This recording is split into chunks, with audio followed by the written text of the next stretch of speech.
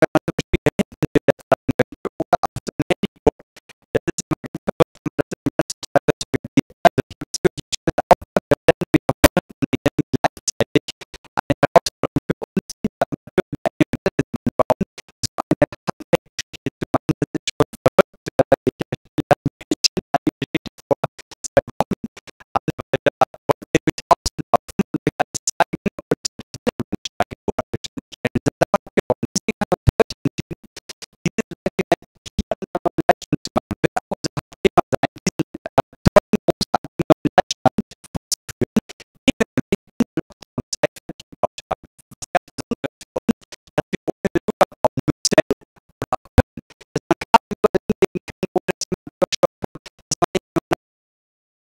wahnsinnig freuen, wenn es euch gefällt, wenn ihr andere Leute, Freunde einladet durch den Teilen-Button, dann kommt noch mehr dazu. Und äh, ihr wisst ja, der böse, fiese äh, Facebook-Algorithmus, der kontrolliert die ganze Zeit, ob dieses Video gut ist oder nicht. Und der denkt, dass es richtig gut ist, wenn ihr viele Like-Buttons drückt und äh, Kommentare schreibt und teilt und sonst irgendwas. Dann denkt der Algorithmus, oh Gott, was ist denn da los? Das ist ja eine Weltgeschichte, fast wie als Donald Trump wieder irgendwie äh, Lack gesoffen hat.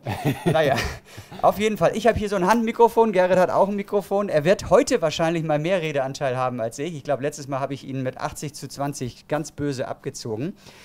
Wir werden euch ein kleines Update geben, wie es uns geht in der Corona-Krise. Wir wollen ganz viel mit euch kommunizieren, deswegen liegen hier auch zwei Tablets und ein Handy, damit wir eure Fragen mitkriegen. Äh, unsere Themen sind so ein bisschen Update. Gerrit erzählt ganz viel über den wahnsinnig tollen Leitstand und über die Formel 1 erzählt Gerrit. Gerrit erzählt über die Kirmes. Kirmes, Gerrit erzählt, naja, nee.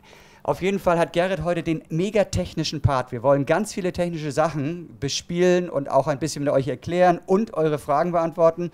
Und dann wollen wir noch ein bisschen über die Brücke reden, die jetzt tatsächlich im Juni wohl eingebaut wird.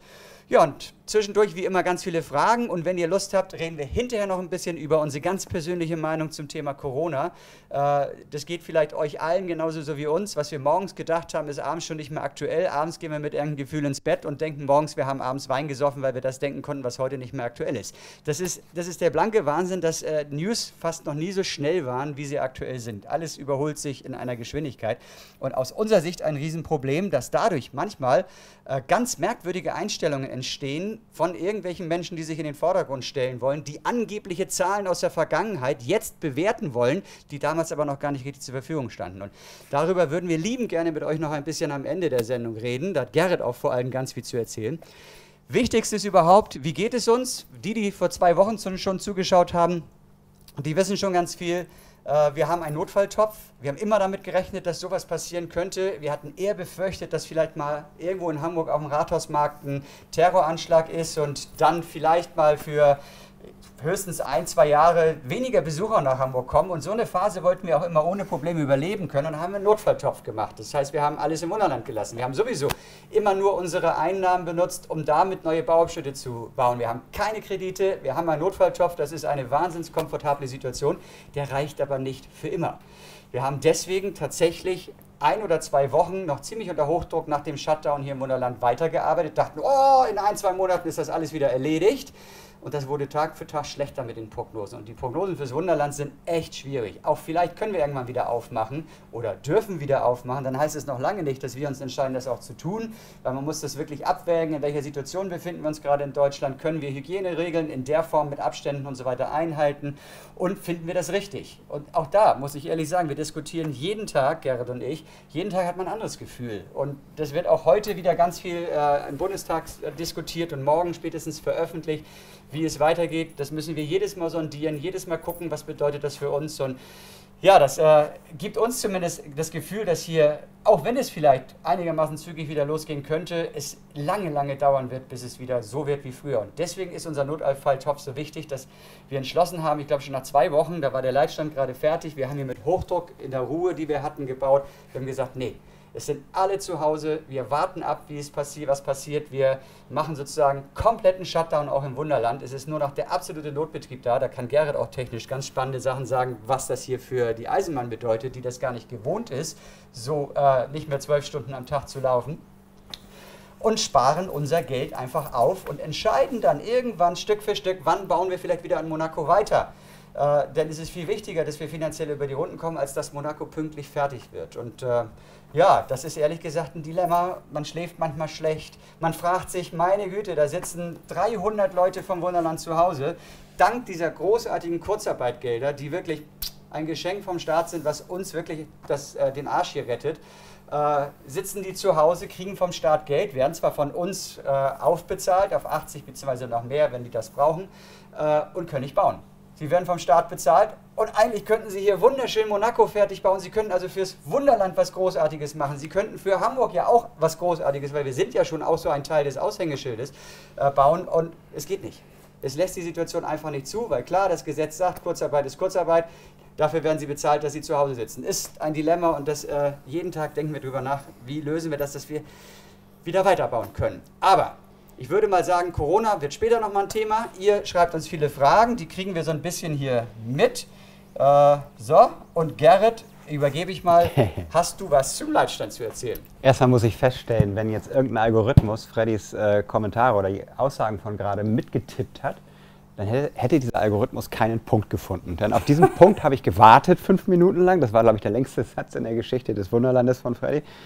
Äh, weil ich dachte, ich kann auch mal was zu sagen, aber er hat das eigentlich alles gesagt. Was mir nämlich auch wichtig war, zu sagen, wir würden alle so wahnsinnig gerne weiterbauen. Es ist ein so bescheuertes Gefühl, dass wir sozusagen alle ein bisschen der Staat, dem Staat auf der Tasche liegen mit den, mit den Kurzarbeitergeld, 60 Prozent. Wir zahlen das auf, damit es den Leuten auch, damit sie gut über die Runden kommen. Das zehrt an unserem Notfalltopf. Wir zahlen auch die Studenten und die Minijobler weiter. Und die sitzen zu Hause und teilweise haben sie, machen sie sich natürlich auch eine gute Zeit. Wir haben ja alle wahrscheinlich viele von euch auch das Erlebnis gehabt, mal zu Hause zu sein. Vielleicht, wenn man Kinder hat, mal mit den Kindern sich mehr zu beschäftigen, ist auch was Cooles. Das ist vielleicht auch etwas, was wir aus dieser Krise mitnehmen als Gesellschaft, dass nicht immer nur der Erfolg, das Geld oder wie auch immer das Wichtigste ist, sondern dass man einfach auch mal wieder festgestellt hat, Familie und andere Werte sind auch wichtig. Wir würden also wahnsinnig gerne weiterbauen. Ich unterbreche dich kurz, weil direkt dazu ist tatsächlich schon eine Frage gekommen. Die Frage ist, was würden wir denn machen, wenn wir den Notfalltopf nicht hätten? Also wahrscheinlich ist es darauf gemünzt, was machen andere Unternehmen, die nicht also, so... Was wir tun würden, wenn wir ein Großkonzern wären. Ja, wir würden, hätten ja alles dann als Dividende und Boni schon ausgezahlt. Genau, hätten wir erstmal alles hinter die sichere Mauer gebracht, wie es so schön heißt, die Aktionäre glücklich gemacht, damit die auch schön weiter den Aktienkurs in die Höhe treiben. Das kann ja heiter werden heute. Ihr kennt das schon okay. vom letzten Mal. Ne? Shitstorm. Äh, Konzernbashing. ja, äh, bringt aber Spaß. Auf jeden Fall, was wäre, wenn wir wahrscheinlich, weil es ganz vielen, auch kleinen Unternehmen ja so geht, die nicht diese Chance hatten, so einen Notfalltopf äh, anzubauen ja, dann würden wir wahrscheinlich äh, bettelnd bei der Bank sitzen und ho hoffen, dass wir einen KfW-Kredit kriegen könnten, den man übrigens nur für Betriebsmittel kriegt, aber nicht für eine Investition. Das heißt, auch wenn wir einen KfW-Kredit, die ganz toll äh, und schnell und unbürokratisch äh, aufgelegt wurden, haben wollen würden für unseren Monaco-Bau, für unsere ganzen Bauarbeiten, die wir drüben mit dem neuen Speicher, Brücke und so weiter machen wollen, würden wir gar keinen KfW-Kredit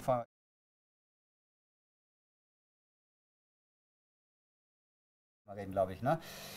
Ähm, ja, ja, dann würden wir aber ganz sicher nicht den Laden abschließen und sagen, äh, nach mir die Sinnflut, das ist unser Lebenswerk, das ist unser Baby. Wir werden nächstes Jahr 20 Jahre alt,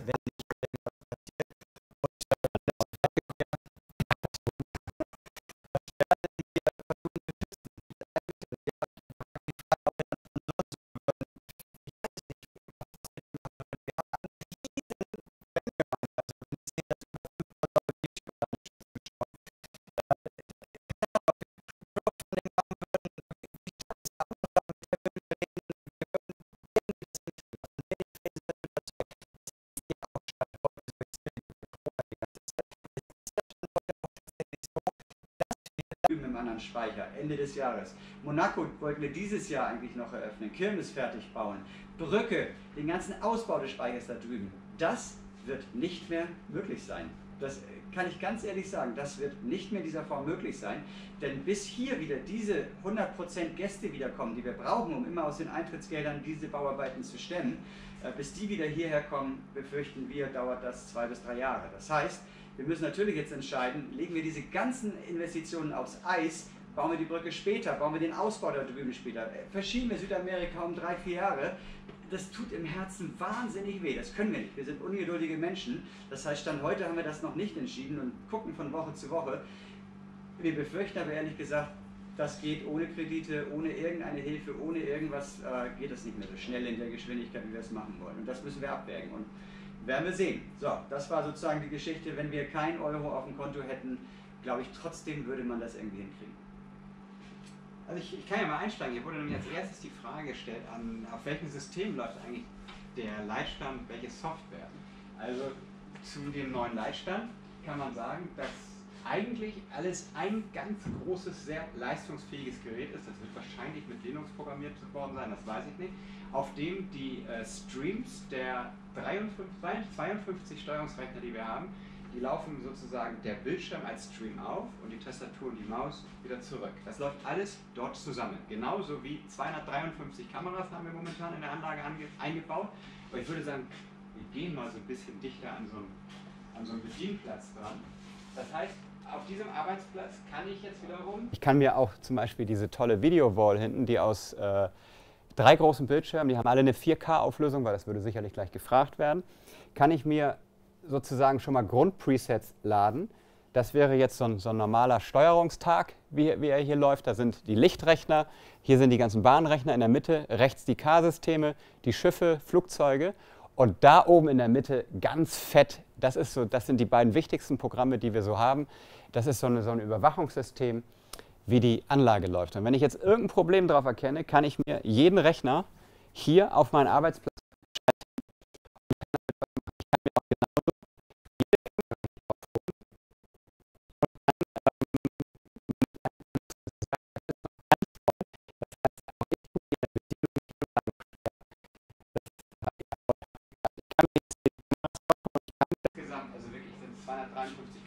oder halt die verschiedenen Rechner hier holen und ein Problem lösen.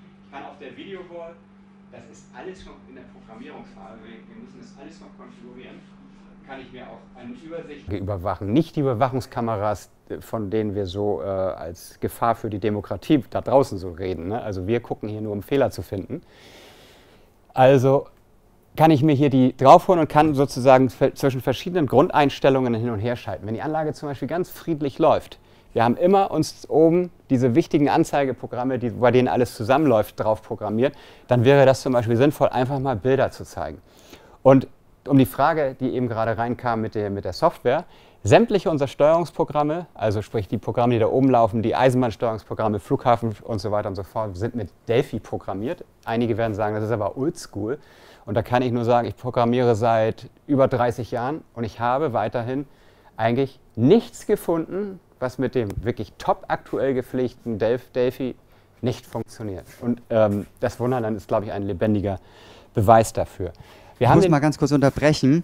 Wir haben erhebliche Tonprobleme. Ähm, ich glaube, bei YouTube mindestens hat man die letzte Zeit fast nichts gehört. Ich brauche jetzt mal eine Information in den Kommentaren von euch. Ähm, ich sehe die ganze Zeit immer, einige schreiben Ton gut, andere schreiben Ton schlecht. Also jetzt müssen wir damit wissen, ob es ein Problem von uns ist oder von Facebook und YouTube. Ähm, ganz aktuell, jetzt in diesem Moment, habt ihr Tonprobleme oder nicht? Das wäre mir ganz lieb, dass ihr das einmal kurz reinschreibt. Also Wisconsin sehe ich hier gerade, alles super, steht. Kein Ton. Bei mir läuft's. Tja, keine Ahnung. Bei einigen scheint es super zu laufen. Bei Facebook sehe ich das hier zumindest, bei YouTube müsstet ihr mir mal sagen, äh, kriege ich jetzt ein Zeichen, dass im Moment viele schreiben, dass es wieder läuft. Also, dann würde ich sagen. In der Zeit zeige ich euch mal. Dann würde ich sagen, ähm, Gerrit, du kannst wieder weitermachen. Ich habe hier meine, die, sozusagen die Selfie-Kamera mir gerade gegriffen. Und ähm, ich weiß gar nicht, ob die jetzt umgeschaltet wurde auf meine Kamera, die gerade in die Hand genommen wurde, weil wir sind natürlich, wir sind ja Modelleisenbahner. Wir können ganz tolle Landschaften bauen. Und äh, ich noch, weil ich glaube, dass das mit dem Umschalten auf die Selfie-Kamera nicht funktioniert hat. Also wir können ganz tolle Landschaften bauen, ganz tolle Software programmieren, ganz tolle Züge machen, aber wir können keine Live-Sendung machen. Aber ich hoffe, ihr findet das trotzdem eher äh, lustig oder unterhaltsam oder charmant. Guck mal, da läuft er da durchs Bild. Und es ist äh, jetzt auf meinem, ich habe hier so einen kleinen Bildschirm hinter mir, damit ich nicht auf, auf Freddys Handy immer die ganze Zeit gucken muss. Der ist jetzt auch aus. Also ich hoffe, dass überhaupt noch irgendjemand zuhört. Und ja. ich, also im Moment scheint der Ton gut zu sein. Also im Moment scheint der Ton gut zu sein. Ich sehe hier ah, alles, alles gut, also alles super, alles gut, Thomas alles supi. Hat die, ähm, ich würde sagen, jetzt läuft es wieder. Also leg noch mal los. Mach mal weiter, Gerrit. Ich habe die Selfie-Kamera. Jetzt kommt's. Jetzt habt ihr richtig was zum Lachen. Schalten wir mal auf die Selfie-Kamera. Thomas? falsch rumgehalten. das ist hier nämlich in diesem, in diesem Kladderadatsch-Gelöt gar nicht so einfach zu erkennen. Ich wollte euch nämlich mal zeigen, wie wir uns hier so aufgebaut haben. Den da kennt ihr schon, das ist der, der so viel redet. Franz versucht uns ein Bild zu liefern. Dieser Bildschirm hier versucht mich auf Stand zu halten. Das ist das Problem, warum wir manchmal nicht so genau wissen, was Sache ist. Der ist anscheinend nicht in Ordnung. Und da sitzt er. Der, der gerade schwitzt und versucht zu kämpfen, der Thomas, der sich hier tatsächlich in äh, Eigenregie und Bastelkram, also er macht, das ist nicht das, was, was du eigentlich bei uns ja normalerweise machst, der einfach mal gesagt hat, ey, wir können, wir können mehr als ihr haltet einfach ein Handy vor die Nase und macht dann einen Livestream drauf. Da sitzt Basti, der wählt, wählt nämlich mit aus von den vielen, vielen Fragen, die ihr stellt. So, jetzt habt ihr mal gesehen, was wir hier als absolute TV-Amateure versucht haben. Und vielleicht habt ihr jetzt auch ein Gefühl, warum es nicht funktioniert. Ich würde sagen, aber Gerrit, du machst jetzt mal weiter mit dem Leitstand. Ähm, mach nochmal einen Schnelldurchlauf von dem, was vorher war, aber nur ganz kurz und knapp und dann steigst du wieder ein. Weil So. der Leitstand ist wirklich eine Granate. Das ist äh, absolut toll, wenn man sich vorstellt, dass man hier dann steht als Zuschauer und die ganze Zeit auf diesen Monitoren wird was passieren. Es wird nicht nur das Bild sein, was jetzt da ist, sondern es, wir träumen davon, dass tatsächlich mal so ein Zug, also so ein Video von Highspeed ICE, wie er darüber langfährt, äh, über den Harz, der da hinten ist, dass man so eine Aufnahme hat, wo er komplett der Bildschirm nur sozusagen dieser ICE ist, wie er darüber rast und so. Wir wollen noch mehr ganz viele Spielereien machen, von wegen, äh, wie viele Lichter sind gerade an, so. Aber da kann Gerrit äh, ein bisschen immer, immer noch zu sagen. Also nicht nur die knallharte Technik, sondern was zeigen wir auch. Genau, wir können, wir können wirklich eigentlich, wenn wir das irgendwann mal komplett begriffen haben, was wir hier für ein Wunderwerk der Technik haben, der, also das Manual, wenn es sowas gäbe, ausgedruckt wäre wahrscheinlich so dick, äh, können wir wirklich alles machen. Wir können Animationen, Spielereien, aber das erstmal muss ja sozusagen die, die Arbeitsgrundlage geschaffen werden, dass wir hoffentlich bald auch damit eine Anlage steuern können. Und Vor allem mit acht Leuten, das muss man sich mal Genau. vorstellen. Acht Arbeitsplätze, alle haben verschiedene Aufgaben. Einige steuern die Züge. Äh, in Vollbesetzung kann man so ungefähr sagen, fünf Leute steuern die Züge, zwei steuern das Car-System und einer den Rest, wenn ich das richtig in Erinnerung habe. Und alle gucken gleichzeitig auf diese Daten und brauchen auf diesem Bildschirm das, was sie sozusagen für diesen täglichen Job brauchen. Und das Lustigste ist immer, dann stehen hier Leute und sagen, wow, den ganzen Tag Eisenbahn spielen und dafür auch noch Geld kriegen. Das ist immer der, der, der Spruch, der richtig für Begeisterung Und, sorgt. und deswegen, auch nur deswegen, haben wir diesen Abstand zwischen den Sitzen und dem, und dem Besucher, der diese schönen Fragen stellt, um genau 50 Zentimeter verlängert. Weil das sind genau diese 50 Zentimeter, die dafür dann nicht mehr reichen. so, also, das ist der neue Leitstand. Ich, ich mache mal was Folgendes, was man nämlich mit dem auch machen kann. Ich habe hier jetzt einen Rechner mir hier aufgewählt und auf dem starte ich jetzt mal ein Video. Und zwar das Video, wie wir den Leitstand äh, gebaut haben. Das starte ich jetzt so. Und jetzt kann ich noch was machen. Ich packe mir das auf dem großen Bildschirm da hinten. Da ist es. Das heißt, ich habe jetzt hier wunderbar in 4K ein mega tolles Video. Aber damit ihr das nicht in einer abgefilmten Qualität seht, wird Thomas jetzt versuchen, euch das direkt reinzuschalten und mich dann im Kleinen. Und ich kann euch dabei erzählen, da sieht man mich, wie ich den, wir haben ihn 14 Jahre lang benutzt, 15 Jahre sogar, den alten Leitstand mit abgerissen habe. Es war, es, es war ein Freudentag, weil wir wussten natürlich, was wir hier Neues kriegen, aber es war gleichzeitig auch eine große Trauer, weil wir haben hier fast 15 Jahre dran gesessen und unseren Alltag dran verbracht. Wir sind umgezogen zwischenzeitlich, weil wir, hatten, wir konnten ja nicht den Leitstand abreißen und dann machen wir einfach mal das Wunderland zu. Hätten wir doch gekonnt,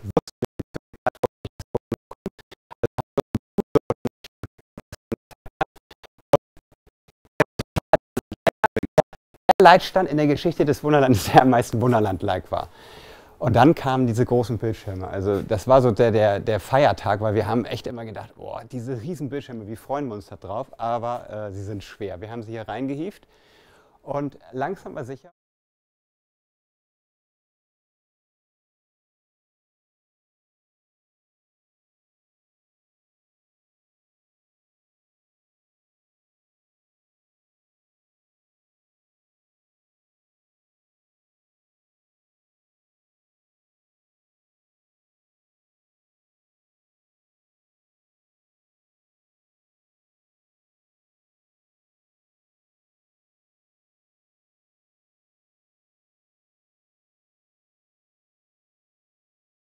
Das Gerrit, ist ganz schnelle Frage. Was sind das für Tastaturen? Das sind, das sind spezielle Tastaturen, die sind tatsächlich, also die, es ist, die Firma ist Waytech, die sich mit Leitwartensystemen beschäftigt. Und, und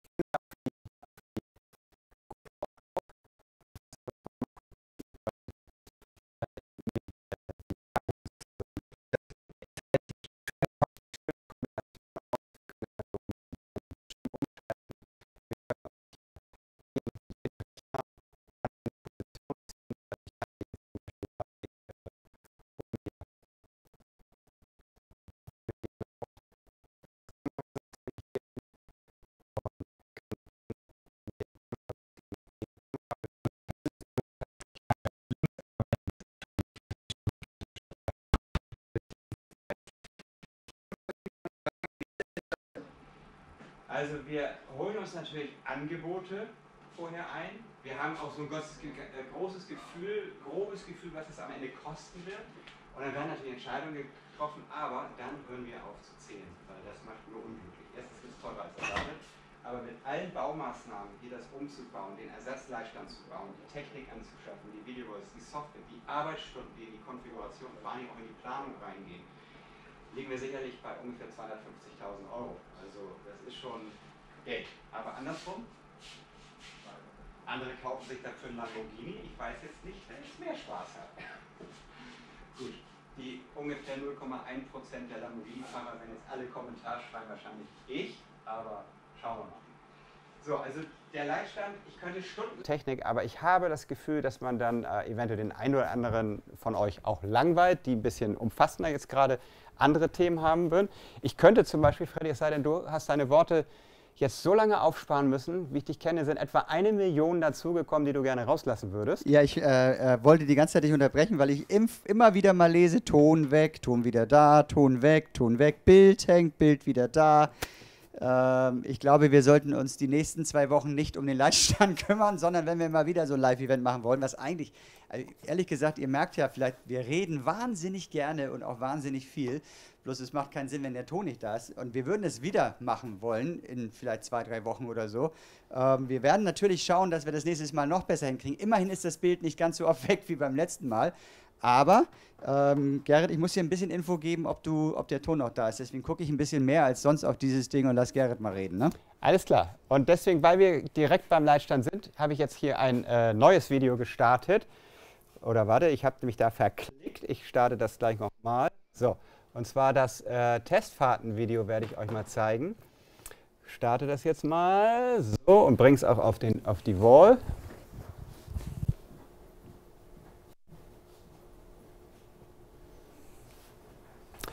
Unfassbar. Ich habe es geschafft, was mir Kollegen hier und da mal berichtet haben. Man kriegt es auch zum Absturz, das System. Aber ich gebe noch nicht auf.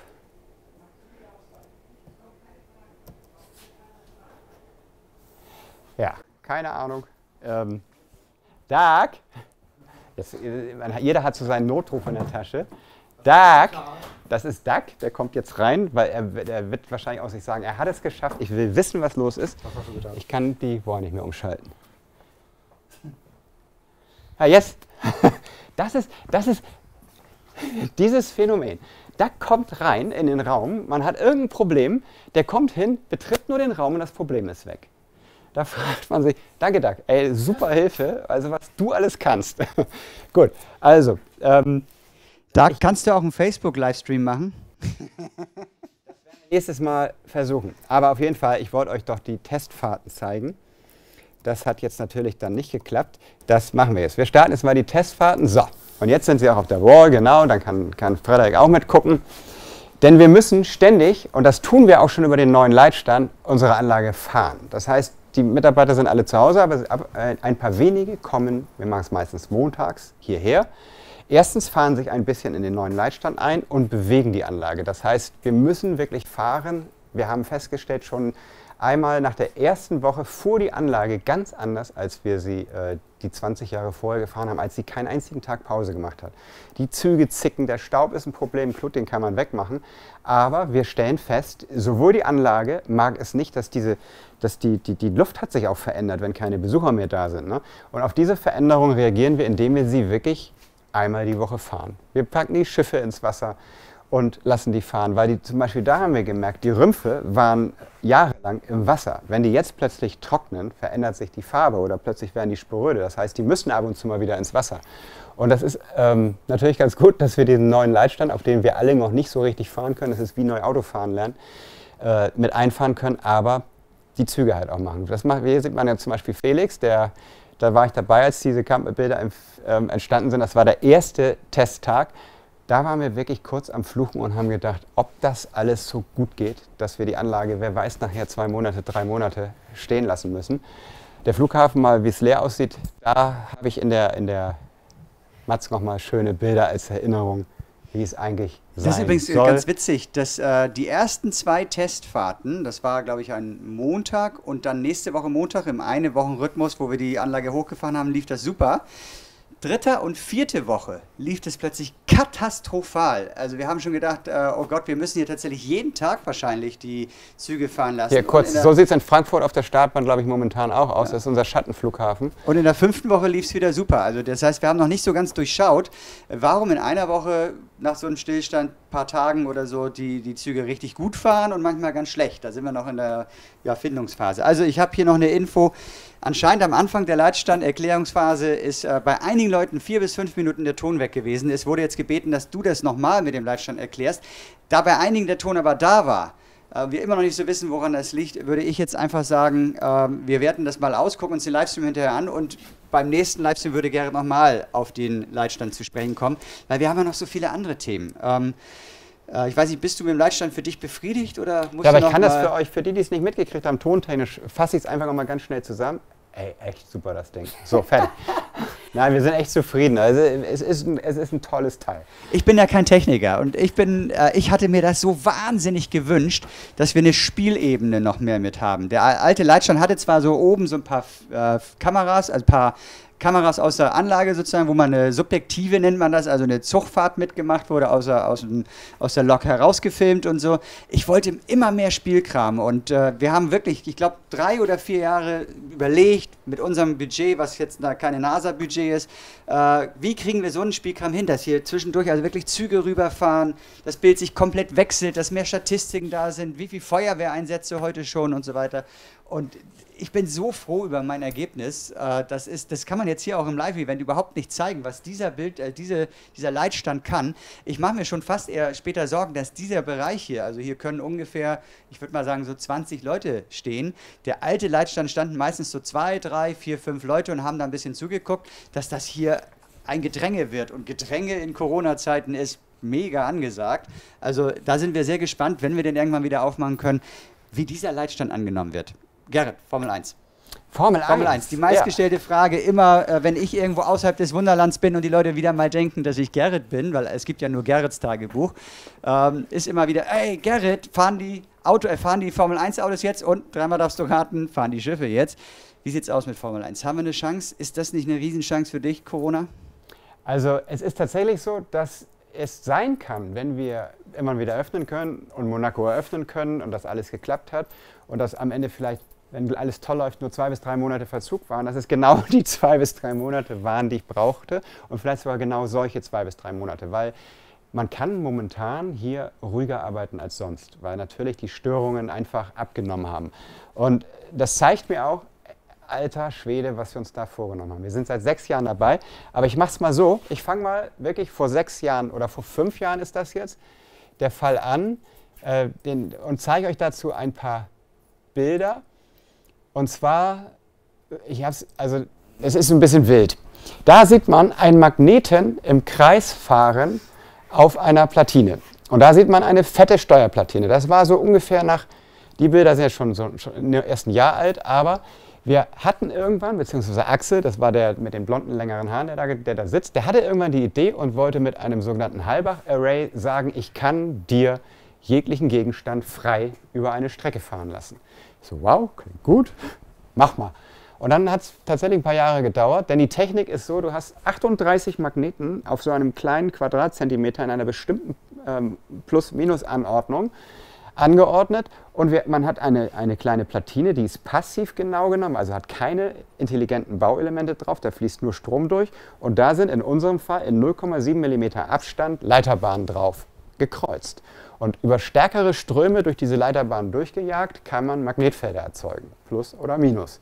Und wenn die genau harmonisieren mit diesem Halbach-Array, also dieser Anordnung, dieser Raute mit diesen Magneten, dann kann ich diesen Gegenstand, zack, immer 0,7 mm in eine der beiden Richtungen weiter bewegen. Das wird immer zu einer fließenden Bewegung, aber der Haken, das funktionierte ganz gut schon so bei den ersten Tests. Diese Platine, die man jetzt da sieht, die übrigens mit der Hand noch gefertigt wird bei uns, das macht Sascha, der sitzt da etwas über einen Tag und macht die ganzen Bauteile drauf. Dann kommt das in den Brennofen, am Ende noch ein bisschen Handlötung und fertig. Und Sascha äh, muss dann, hat dann guten, ruhigen Schlaf, wenn er das fertig hat. Diese eine Platine, die man da sieht, steuert gerade am Ende mal eben 16 Sektoren, nennen wir das, also 16 kleine, 4 cm lange Stücke einer Strecke. Das heißt, solche Steuerplatinen brauchen wir über 100. Da sind alleine irgendwie ich glaube, 120 Prozessoren mit der Ortung nachher zusammen drauf. Das mal die Ortung noch, kommen wir auf zigtausend Mikrocontroller, die alle ein Softwareprogramm drin haben und die alle harmonisiert miteinander arbeiten müssen. Aber man hat es eben gerade schon einmal an einer Stelle gesehen.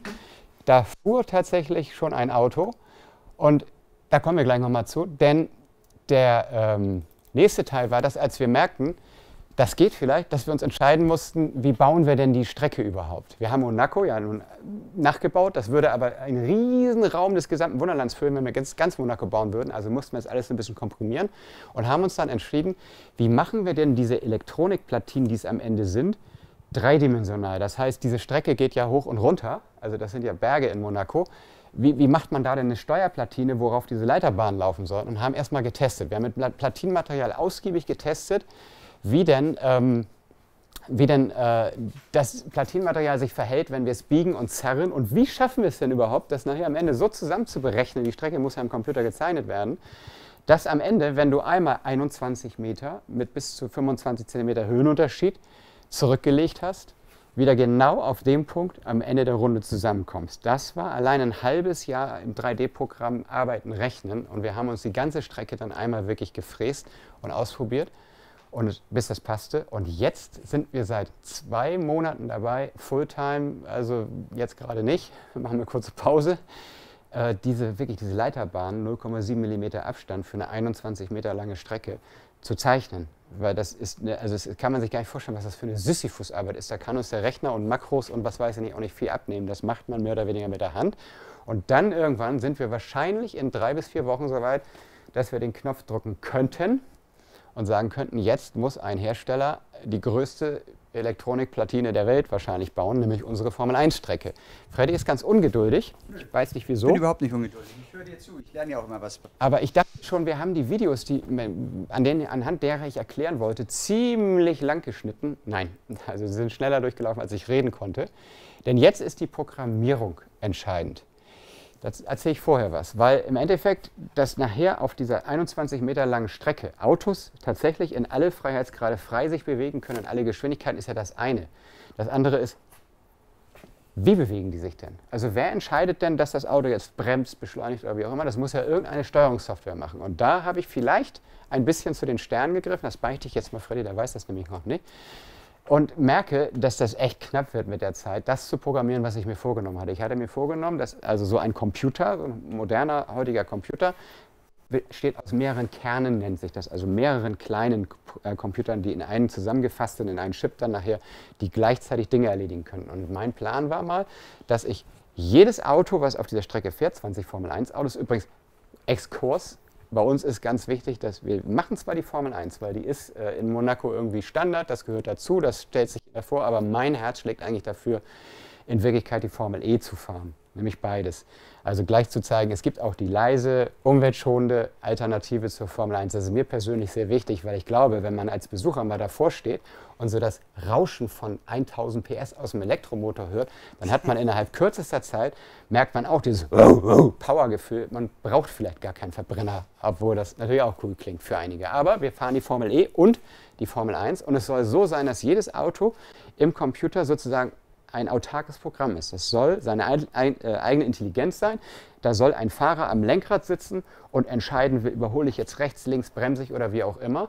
Und eigentlich gar keinen Masterprozess geben nach dem Motto, wir fahren hier eine Formel-1-Show, die wir einmal durchprogrammiert haben und per Knopfdruck fährt die jedes Mal gleich, sondern es soll jedes Rennen neu aussehen, weil sich plötzlich der eine hat bessere Reifen oder wie auch immer. Und ähm, wisst ihr eigentlich, warum ich gerade so anders rede als sonst? Weil der zappelt die ganze Zeit neben mir, weil ihm das wahrscheinlich viel zu viele Worte sind. Nö, ich finde das großartig. Ich, überlege die ganze Zeit, ob ich mal die Anne Will mache und dich äh, unterbreche oder ob ich dich einfach reden lasse.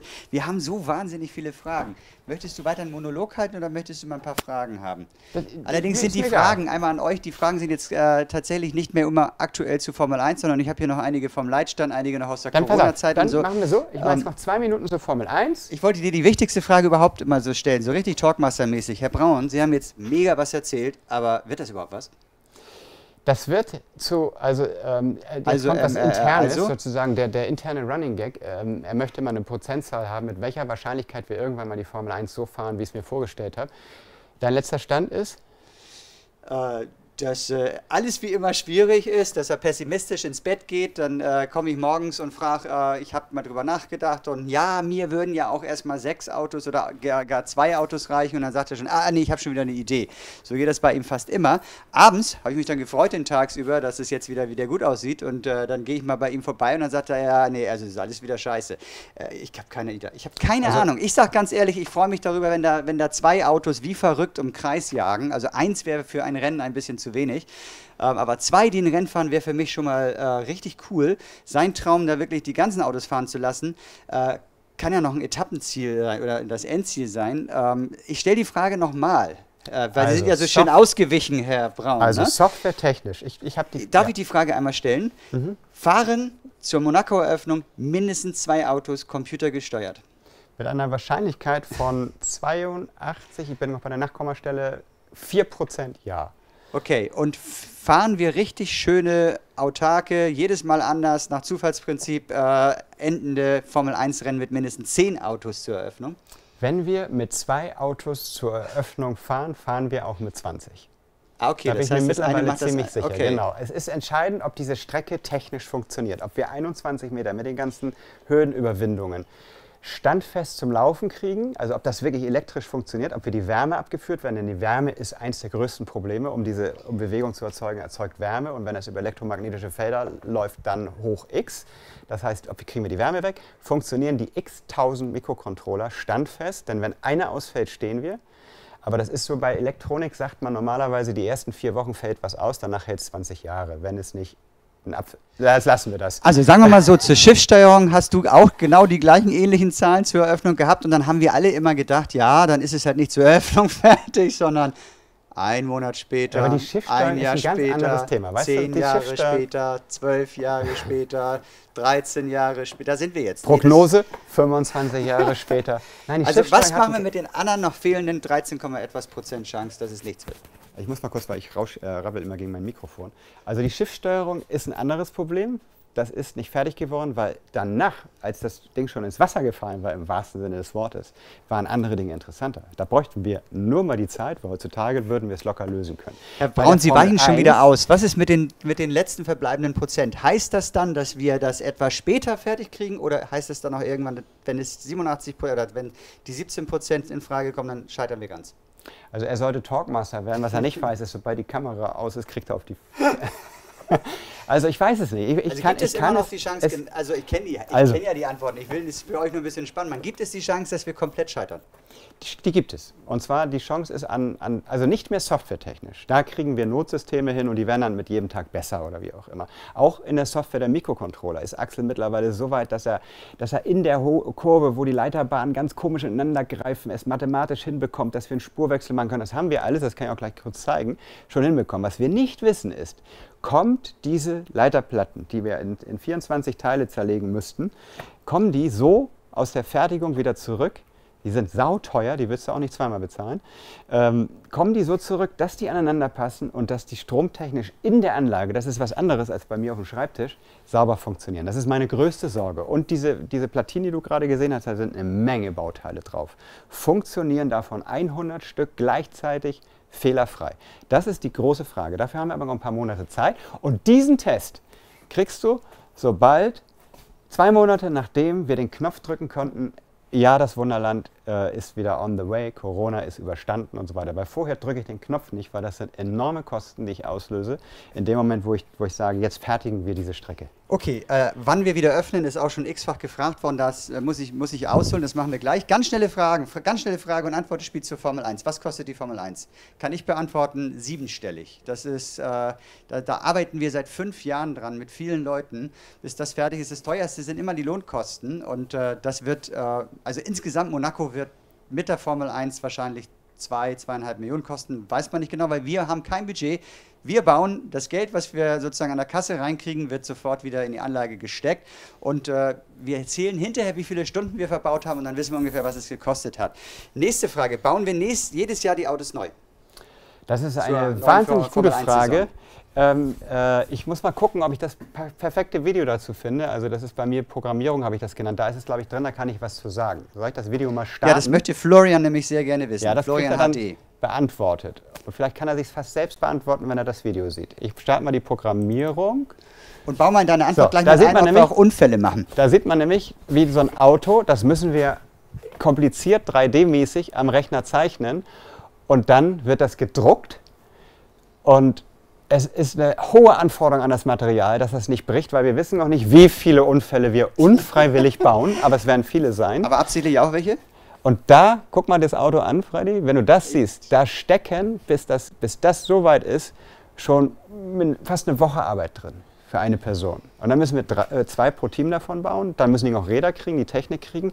Also ich schätze, dass wir es nicht schaffen werden, alle 22 Auto, äh, alle 20 Autos jedes Jahr komplett neu zu bauen, weil dann müssten wir zwei Mitarbeiter nur mit dem Bau von Autos beschäftigen. Also werden wir uns das so zusammenschummeln, also ich hasse dieses Wort, wir mögen es alle nicht, weil wir Perfektionisten sind, dass das irgendwo in einem vertretbaren Aufwand ist. Dass wir jedes Jahr vielleicht sechs neue Autos bauen und die ich anderen sag ganz ehrlich, das ist scheißegal. Es wird so geil werden, wenn das funktioniert. Das wird so der Hammer sein. Und dann ist es egal, ob das jetzt ein aktuelles Auto ist oder nicht. Wir haben einfach- da schon x-fach drüber diskutiert. Ich sehe das viel, viel entspannter. Es muss nicht immer das neueste Auto sein. Äh, Wir haben auf der Anlage teilweise noch Autos, die stehen seit 20 Jahren auf dieser Anlage und sie sehen immer noch gut aus. Jetzt hat er mir die es Chance genommen, die schönsten Bilder zu kommentieren. Ach, okay. Ist egal. Ihr habt es ja. Ja. gesehen, das waren fahrende Formel-1-Autos. Man hat es auch auf dem Bildschirm gesehen, wie es auf der Strecke aussieht. Und wir kommen voran. Und ich bin wahnsinnig nervös, aber auch unheimlich euphorisch vorfreudig, weil wir kommen voran. Wie viele Autos haben wir schon gebaut? fragt äh, Jürgen Dornbusch. Wir haben, wir haben so, da sieht man das Standbild noch von der, von der Matz, die da gerade lief. Wir haben uns 20 solche einfachen Prototypen gebaut und haben in ungefähr vier Wochen Arbeit für die auch diese Halbach-Arrays äh, geklebt. Die muss man nicht einzeln kleben und da springen einem die Magneten immer um die Ohren, wenn man sie nicht gut genug festhält, weil die müssen immer invers geklebt werden. Und die haben wir ausgestattet, um zu testen. Aber noch kein, wir haben ein einziges fertiges Formel-1-Auto in dem Design, wie es immer mal sein soll. Aber das steht in einer kleinen Box, schön am Arbeitsplatz, weil die äh, geben, geben die Modellbauer uns noch nicht. Weil sie ganz genau wissen, wir sind in den Testfahrten, wir fahren die kaputt. Ich hätte nicht meine blöden äh, Kontaktlinsen reintun sollen. Ich hätte einfach meine Brille nehmen sollen. Kommt auch mal das Safety Car raus? fragt Mike Budde. Also ich habe eine Boxengasse gezeich gezeichnet, ich habe eine, äh, äh, eine Safety Car Standposition mit Rein- und Rausfahrmöglichkeit und Medical Car eingeplant. Das heißt, am Ende soll die, die Programmierung so sein, dass die Fahrzeuge in der Box stehen, natürlich der Sound entsprechend auch ist. Und dann fahren die eine Einführung, also nur eine Aufwärmrunde, die Einführungsrunde lassen wir weg, aus zeitlichen Gründen, weil ich schätze mal, dass die meisten Zuschauer da so lange warten werden, bis sie einen Start gesehen haben. Dann machen wir eine Startaufstellung, einen Start, äh, und fahren wahrscheinlich drei bis fünf Runden Rennen. Dann steht der, ähm, steht, steht der Sieger fest und dann fahren wir direkt wieder in die Boxengasse. Das ist der Plan. Wo ich dann Medical Car oder Safety Car oder gar die Feuerwehr, die von theoretisch an zwei Stellen auch, das ist eingeplant, kommen könnte, einbauen, müssen wir eventuell erstmal schauen, wie ist denn da so die, die Fülle? Wie viele Besucher stehen, stehen, äh, wollen denn zum Beispiel es live sehen? Dass wir verschiedene Rennen fahren. Wenn die sich sagen, ich will jetzt 15 Rennen, jeder, jeder Zuschauer, der ins Wunderland kommt, will 15 Rennen sehen und, und äh, dann ist er begeistert, dann habe ich ein Problem. Dann muss Dachten ich wir aber auch beim Flughafen. Wir hätten also es, ist die, es ist unser Nadelöhr, der, der Flughafen und die alle wollen die Bummel, Millennium Falcon und, äh, und sonst was sehen. Es löst sich aber dann irgendwie, auch wenn es immer am Flughafen voll ist. Ich, ich sagte jetzt schon, die Formel 1, wenn du das auch nur annähernd hinkriegst, wird ein Riesenproblem für uns werden. Aber ich sage immer, es ist ein schönes, positives Problem. Äh, einige Fragen Ja. sind schon von dir selbst geklärt worden. Zum Beispiel, ob wir eine Boxengasse haben, hat Yves Marx gefragt. Dann, äh, wie schnell fahren denn die Autos, fragt Dagmar Dietrich. Also sie fahren, Dagmar Dietrich, also das ist, glaube ich, ein äh, verschrieben, kann ich- oder, Basti? Keine Ahnung. Das kann okay. ich alles einstellen. Ich habe die Software so gemacht, dass man, dass man Höchstgeschwindigkeiten einstellen kann. Man kann pro Auto den, äh, den Grip für die Reifen, die Beschleunigungskraft, die Bremskraft einstellen. Und momentan fahre ich Ausfahrttunnel ungefähr 290 Stundenkilometer. In echt ist es ein Tick schneller. Hintergrund, wir haben die Strecke ein gutes Stück stauchen müssen. Das heißt, wir fahren nicht eine 1,30er oder 1,50er, glaube ich, ich weiß es nicht im Kopf, Monaco-Rundenzeit, sondern wir fahren bei, wenn wir mit 290 rauskommen, also umgerechnet auf den Maßstab, dann fahren wir eine Rundenzeit von etwa 45 Sekunden. Und um das alles ungefähr in einen Maßstab zu bringen und dass wir als Menschen auf unser Monaco nachher von oben drauf gucken werden, also aus der Helikopterperspektive, das müssen wir am Ende überhaupt erstmal sehen, was sieht realistisch aus, weil wir wissen es ganz genau aus der Erfahrung der letzten 20 Jahre, je größer ein Objekt, desto kleiner müssen wir es machen im Vergleich zu der Figur, die unten steht, weil wir Menschen ja nie von oben irgendwie drauf gucken. Und wenn wir irgendwo auf dem Fernsehturm stehen, dann gucken wir uns nicht genau diese Details an, ob die Größen stimmen, weil da gehen wir von aus. Hier im Wunderland ist es immer dieses, dieser Effekt, ey, sieht super aus, aber, weil jeder entdeckt irgendein Detail, was, was ihm nicht gefällt. Das heißt, ich kann es am Ende justieren, und wir werden aller Wahrscheinlichkeit nach um die 290 bis 300 Stundenkilometer, also in Bezug aufs Original, Spitzengeschwindigkeit fahren, was dann grob ein Meter pro Sekunde ist. Also auf unserer Anlage wird das Formel 1 Auto in der Höchstgeschwindigkeit ein Meter pro Sekunde fahren. Und das ist ordentlich. Das ist wirklich schnell. Und nochmal zu dem, zu dem Aber, weil natürlich, so wie ich das auch schon hier merke, an diesen hochinteressierten Fragen zur Formel 1, ähm, wir haben 1,4 Millionen, wir hatten, bis Corona kam, 1,4 auf dem Weg zu 1,5 Millionen Besucher pro Jahr. Da hast du aus jedem Berufszweig jemanden dabei, der es besser weiß. Und das Formel ist, 1-Fahrer? Formel 1-Fahrer waren auch schon hier. Also das hörten wir dann erst hinterher. Wenn wir jetzt nämlich in Kontakt mit Teams treten, dann hören wir, ja, hier, der Fahrer war schon mal da oder wie auch immer, Namen nenne ich jetzt nicht. Ähm, aber das ist übrigens auch eine, eigentlich eine ganz witzige Anekdote. Das ist, das ist ein Geschenk wie wir mit dem, weil äh, wir, sind ja nicht nur Spielkinder, sondern wir können ja auch immer zeigen, hey Leute, wir meinen es aber auch ganz schön ernst und wir können auch ein bisschen was, wie wir doch die, die Türen geöffnet kriegen. Also selbst hier der, der Monaco Motorsport Club, der am Anfang, ja, also der das Rennen aussieht, die waren am Anfang ganz reserviert, da kommen irgendwelche aus Hamburg und, und wollen unsere Pläne, nein, nein, nein, aber dann haben wir mal erzählt und auch ein bisschen was gezeigt, was wir eigentlich machen oder wie auch immer und dann stehen einem sämtliche Türen offen. Das macht uns eigentlich, das ist eigentlich es ist immer, es ist so ein bisschen so wie im Leben manchmal, so wenn du einmal Erfolg hast, dann wirst du ihn auch nicht wieder verlieren. Es macht uns das Leben manchmal echt ganz schön spannend und einfach, dass wir so totale Unterstützung kriegen. Dann einmal ganz schnell. Vielen Dank dafür an alle, die Ja. ich jetzt angesprochen habe. Und es sind viele, inklusive aller Leute, die uns schon besucht haben und damit auch unterstützt haben. Werden die Fahrer unterschiedliche Charaktereigenschaften haben, wie zum Beispiel später bremsen, mehr Kampflinie fahren und so weiter, fragt Chris. Chris, Ja, das werden sie auf jeden Fall, weil das ist der absolute Plan, dass ich jedem, jedem der, der Prozesse, also ein Computerprozess, das ist ein eigenständiges Programm, stellt ein Auto dar im, im Rechner. Und den fütter ich mit Reifendruck, mit, äh, mit wirklich Bremseigenschaften, PS, Motorleistung und mit dem wichtigsten Faktor, das sind die Skills des Fahrers. Wie ist, und ob der ausgeschlafen ist, ist der bissig, ist der heute eher, hat er Ärger mit seiner Freundin gehabt oder wie auch immer, das wird kommen. Und dann werde ich auch solche Sachen machen, dass man hier und da vielleicht auch mal blockt. Also blocken ist, äh, ich setze zum Überholen an und der andere zieht davor. Das ist bei der Formel 1, glaube ich, ich bin jetzt nicht hundertprozentig immer auf dem Stand, einmal erlaubt, dann darfst du aber nicht wieder zurückziehen. Machst du das einmal, kriegst du vielleicht noch ein ne, ne, ne, ne, ne. Beim zweiten Mal heißt es eine Zeitstrafe in der Boxengasse. Oder aber spätestens dann sagt das Publikum, es fängt an zu pöbeln und du verlierst dein, deine Beliebtheit beim Publikum. Das werde ich versuchen, alles mit einzubeziehen. Dann, schnelle Fragen, schnelle Antworten, damit wir auch mal zur Kirmes kommen. Wird es Kräne geben, die die defekte Autos aus der Anlage? Wir haben so viele Ideen gehabt und wir sind seit fünf Jahren dabei, aber dass wir wirklich sagen, wir bauen das, ist so seit, seit anderthalb Jahren ungefähr, haben so viele Ideen gesammelt, haben sie fast alle verwerfen müssen, weil der Zeitdruck da ist. Das ist etwas, was Das wir kann ja dann noch nachgeholt wollen. werden. Wir versuchen, verschiedene Sachen vorzubereiten, aber gewisse Dinge waren, weil wir so im Verzug sind mit der Formel 1, einfach notwendig, jetzt erstmal zu sagen, komm, vergiss das jetzt erstmal. Wir wollen jetzt die Formel 1. Wird die Formel 1 auf Bildschirm, kleinen Bildschirm kommentiert? Selbstverständlich. Danke, dass du Fragt mir diese Harald. Frage. Harald, danke für diese Frage. Das habe ich nämlich vergessen, das Thema. Da bin ich nämlich gerade dabei, nachdem der Sound schon relativ gut funktioniert, dass, wir also, dass du wirklich am Ende denkst, dass das Auto fährt da akustisch vor dir her und wir diese Sounds auch generieren für jedes Auto einzeln. Habe ich jetzt gerade, bin ich gerade am Programmieren, dass die Software versucht zu erkennen, wo ist gerade die, die Szene am spannendsten und dann das ist noch nicht ganz sicher, aber wahrscheinlich schaffen wir sogar das mit Live-Kameras in der Strecke auf die kleinen Miniscreens und einen großen an der Decke wirklich eine Live-Übertragung zu machen. Unsere Gäste kennen das Wort Sarkasmus sehr gut. Äh, Was ist eigentlich auf unserem Flughafen, wenn die Lufthansa pleite geht? Wollen wir es nicht hoffen? Sarkasmus fällt mir nur wieder Trump ein, aber egal. Anderes Thema. New York City fragt, also André aus New York fragt, äh, have you invited Vettel? Äh, not yet. Ja, also wir wollen auf jeden Fall schauen, dass wir zur Formel 1 äh, Eröffnung auch mal den einen oder anderen Formel 1 Fahrer herkriegen. Ähm, wir haben schon mal einen Kontakt geknüpft und haben da auch Hoffnung, aber äh, das ist schon ein bisschen zu den Träumen, äh, zu den Sternen greifen, weil ihr könnt euch vorstellen, wie so ein Terminkalender von einem normalen Formel 1 Fahrer aussieht und dann auch noch Vettel oder sonst äh, irgendeiner von diesen Stars. Da hast du eigentlich auch als Wunderland kaum eine Chance. Trotzdem, wir sind ja verrückt und wir sind auch gemein und vielleicht schaut ihr ja auch gerade alle zu, ihr Vettels.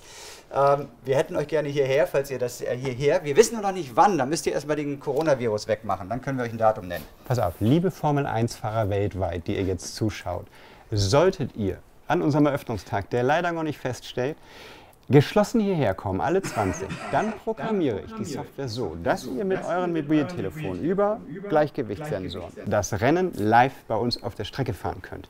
Wäre das was? Startaufstellung bestimme ich. Wer ist denn dann auf 1? Auf Pol? Der letzte ist, der, der, der schnellste ist hinten, logisch. Achso. Äh, was macht ihr, damit die Autos nicht geklaut werden? Das ist ja generelles Thema beim Car-System. Also kann ich auch beantworten. Ich glaube, wir haben in der Geschichte des Wunderlandes erst zwei geklaute Autos. Eins haben wir sofort wiedergekriegt. Eins ist, äh, glaube ich, kaputt gegangen beim Runterfallen. Das sieht das System ja sofort. Wir haben überall Kameras und äh, trotzdem muss ich auch ehrlich sagen, es gab keine Versuche ansonsten. Es ist tatsächlich so, 1,4 Millionen Besucher im Jahr haben genügend Respekt vor dieser Leistung. Und das ist für uns ein Traum, dass wir nicht, also ich kann mich erinnern daran, als wir hier äh, zwei Musste Monate... ich korrigieren. Es ist doch nur ein Auto weggekommen, denn das zweite haben wir im Skandinavienbecken Jahre später gefunden. Ernsthaft? Das ist von der Brücke gefallen.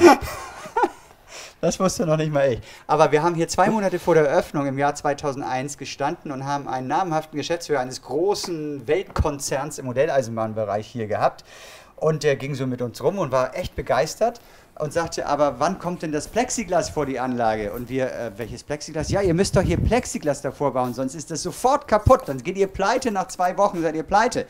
Äh, Das hat uns nervös gemacht, aber wir haben immer gesagt, nee, der Respekt, wir müssen so gut bauen, dass der Respekt groß genug ist, dass das alles heile bleibt. Und es werden Figürchen geklaut, das sind aber meistens dann kleine Kinder, die das hoffentlich mit einem liebevollen Andenken irgendwo in der Schublade haben zu Hause. Aber insgesamt ist das toll und bei den Autos mache ich mir auch bei den Formel 1 Augen- Autos ehrlich gesagt überhaupt keine Sorgen. Gerrit, wird es Spaßautos geben, fragt Marcel. Ähnlich wie die Bummel am Airport. Also das Schöne ist, wenn das ist sozusagen, ähm, das sind die Fragen, die ich liebe, weil wir unterscheiden immer zwischen Pflicht und Kür. Also die Pflicht ist, dass hier 20 Autos ein Formel-1-Rennen fahren. Und, bei, und die, die Formel E ist äh, eigentlich schon Kür, obwohl es eigentlich mein Herzstück ist. Und dann, wenn die Pflicht erfüllt ist, sprich wenn wir, wenn wir mit diesen 20 Autos ein Rennen fahren können, ist alles möglich. Und dann wird es sicherlich auch, äh, das wird das Team sich gar nicht nehmen lassen, irgendwelche Spaßdinge geben. Also wir können, wir können mit dieser Technik alles durch die, durch die Gegend fahren lassen, was wir wollen.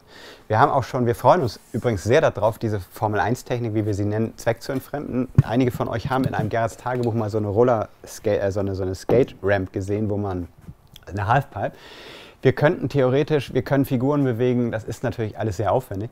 Wir, wir könnten am Ende sogar unsere K-Systeme, wie wir sie jetzt haben, auf diese Technik umbauen. Der Aufwand wäre aber gigantisch. Aber trotzdem, scheint eine lustige Frage zu sein. Aber es ist auf jeden Fall so, wir werden damit viel Spaß haben. Gerrit, äh, werden die Reifen nach Unfällen an Sicherheitsseilen befestigt bleiben? Äh, ja, da habe ich mir intensive Gedanken gemacht. Also eigentlich könnte es sein, dass die Formel 1 genau wegen dieser Sicherheitsseile nicht fertig wird. Okay. Ähm, wirst du die Formel 1, also Gerd hat ja schon gesagt, dass er so ein bisschen nach äh, Zufallsprinzip gewinnen lässt und auch äh, sozusagen die Battles auf der Strecke sozusagen ausgehen lässt. Werden die Teams denn so programmiert, dass sie tatsächlich ihrer Leistung entsprechen, wie der aktuelle Formel 1 Stand ist, so ein bisschen eine Verstärkung haben? Ich ähm, denke ja. Also, fragt Timmy. Ich denke, ich denke ja. Das ist ja im Endeffekt, das ist ähm, einmal im Leben ein bisschen Gott spielen sozusagen und zu entscheiden, wer das Rennen gewinnt, macht ja zum einen Spaß, aber es soll ja auch realistisch sein. Das heißt, wir, wir, wir haben auch schon darüber nachgedacht, ob wir immer das letzte Rennen nachspielen, aber das wäre auf, auf, auf, auf Dauer ein bisschen zu langweilig. Aber ich hoffe so, dass die Software am Ende in der Lage ist, dass das alles so gemacht werden kann, wie wir vielleicht sogar am Ende der Zuschauer es entscheidet. Freddy, du bist doch derjenige, der uns finanziell, ihr hört mal kurz nicht hin, finanziell immer auf die sicheren Beine stellen müsst. Du mhm. rettest uns hier durch die Corona-Krise und so ja. weiter und so fort. Was hältst du von so einem Münzeinwurf, wo du an der Formel-1-Strecke entscheiden kannst, welcher Fahrer gewinnt und wer am meisten eingeworfen bekommen hat, gewinnt? Passt nicht zu uns, Nein. würde ich sagen. Aber äh, Gerrit, wie hoch ist der Fehlerprozess insgesamt bei euren Programmen? Ich weiß nicht ganz genau, wie F.R. das F.B hätte ich jetzt fast gedacht, Frederik, warum nee, F.R. das ge gemeint hat wie hoch der Fehlerprozentsatz ist. Also wie viele, ich schätze jetzt mal einfach, wie viele Loks stehen bleiben, wie viele Autos. Äh also man muss dazu sagen, eigentlich ist das Wunderland ähm, dank mir, weil Freddy sieht das anders, eine Apple-freie Zone. Deswegen gucke ich immer so auf dieses komische. Egal. Ähm, ich, ich würde sagen, unsere Softwareprogramme haben nicht wesentlich mehr Fehler als so ein Gerät. Also wir haben Fehler. Ich glaube, so ist es gemeint. Aber wenn ich ein Programm neu in Betrieb nehme, dann ist es intensiv durchgetestet. Aber da wir keine große Sicherheitsrelevanz haben, dass wir, wir haben keinen großen Weltuntergang, wenn das nicht passiert, kann ich ein, ein System auch in Betrieb nehmen, wenn es noch nicht hundertprozentig ausgereift ist, weil die Jungs und Mädels vom Leitstand werden es mir schon berichten, weil die wollen nämlich möglichst reibungslosen Betrieb haben und berichten mir das. Und ich würde mal sagen, die K-System-Software, die die Autos in Knuffing steuert, das ist sozusagen das älteste Programm, da kriege ich ungefähr noch einmal im Monat einen Bug berichtet. Was Gerrit, mich natürlich ich glaube, ich komme in den Knast. Macht. Dieter hat es herausgefunden. Ich, also ich habe am meisten Spaß, weil ich eure Fragen die ganze Zeit lese. Äh, Dieter hat gut aufgepasst. Dieter hat nämlich vor zwei Wochen anscheinend unseren anderen Live-Event gesehen, wo meine Haare noch gefühlt äh, über meine Augen waren. Äh, er hat mich gefragt, wer, wer, wo war der Friseur, der für dich extra geöffnet hat? ja, äh, Freddy. Ähm, ich, ich muss an. ein Zeugenschutzprogramm, ich bin weg.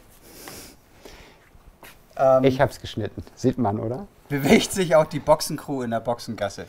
Also es gibt ein, also ja, wir haben eine Box gebaut, wo sich die Boxencrew bewegt. Das ist äh, mega. Ich war fasziniert, als ich es gesehen habe und ich war der, der gesagt hat, ähm, ihr wisst schon, dass ich da durchfahren möchte, ne? wo die ganzen Figuren da an dem Auto arbeiten. An dem Problem arbeiten wir noch. Wir haben tatsächlich mit Magnetfeldern und so weiter eine Boxencrew, die einen Reifenwechsel macht. Aber ich, wir kriegen das nicht hin, dass das Auto da angefahren kommt, dann die Boxencrew ankommt und dann mit den Magnetfeldern das bearbeitet. Soweit sind wir noch nicht. Es kann sein, dass wir vielleicht auch ein bisschen schummeln, weil wir sowieso ein bisschen das Problem haben, dass wir auch die Boxengasse stauchen mussten. Und wenn ich alle 20 Autos hintereinander in die Boxengasse an die Boxen stelle, dann wird es ganz schön eng. Deswegen haben wir überlegt, ob wir es so machen, dass wir Teile so ein bisschen so an der, an der Startli Ausgangsstartlinie von der Boxengasse äh, hinstellen. Die sind schon fertig und nur an der Box stehen ein paar Autos. Dann könnten wir ein paar Boxen belegen, wo auch tatsächlich Reifen gewechselt werden. Wir haben nämlich sowas schon hinbekommen. Lutz fragt, wird es eine Champagnerdusche geben? Äh, wahrscheinlich für mich an dem Tag, wo es funktioniert und für Axel und, und die Crew, die Nico und Co., die Stefan, die das gemacht haben. Super-User fragt, gibt es auch Gerüche wie stinkende Reifen? Gerüche ist ein spannendes Thema. Da haben wir bisschen und ganz vorsichtig bislang schon äh, mit experimentiert.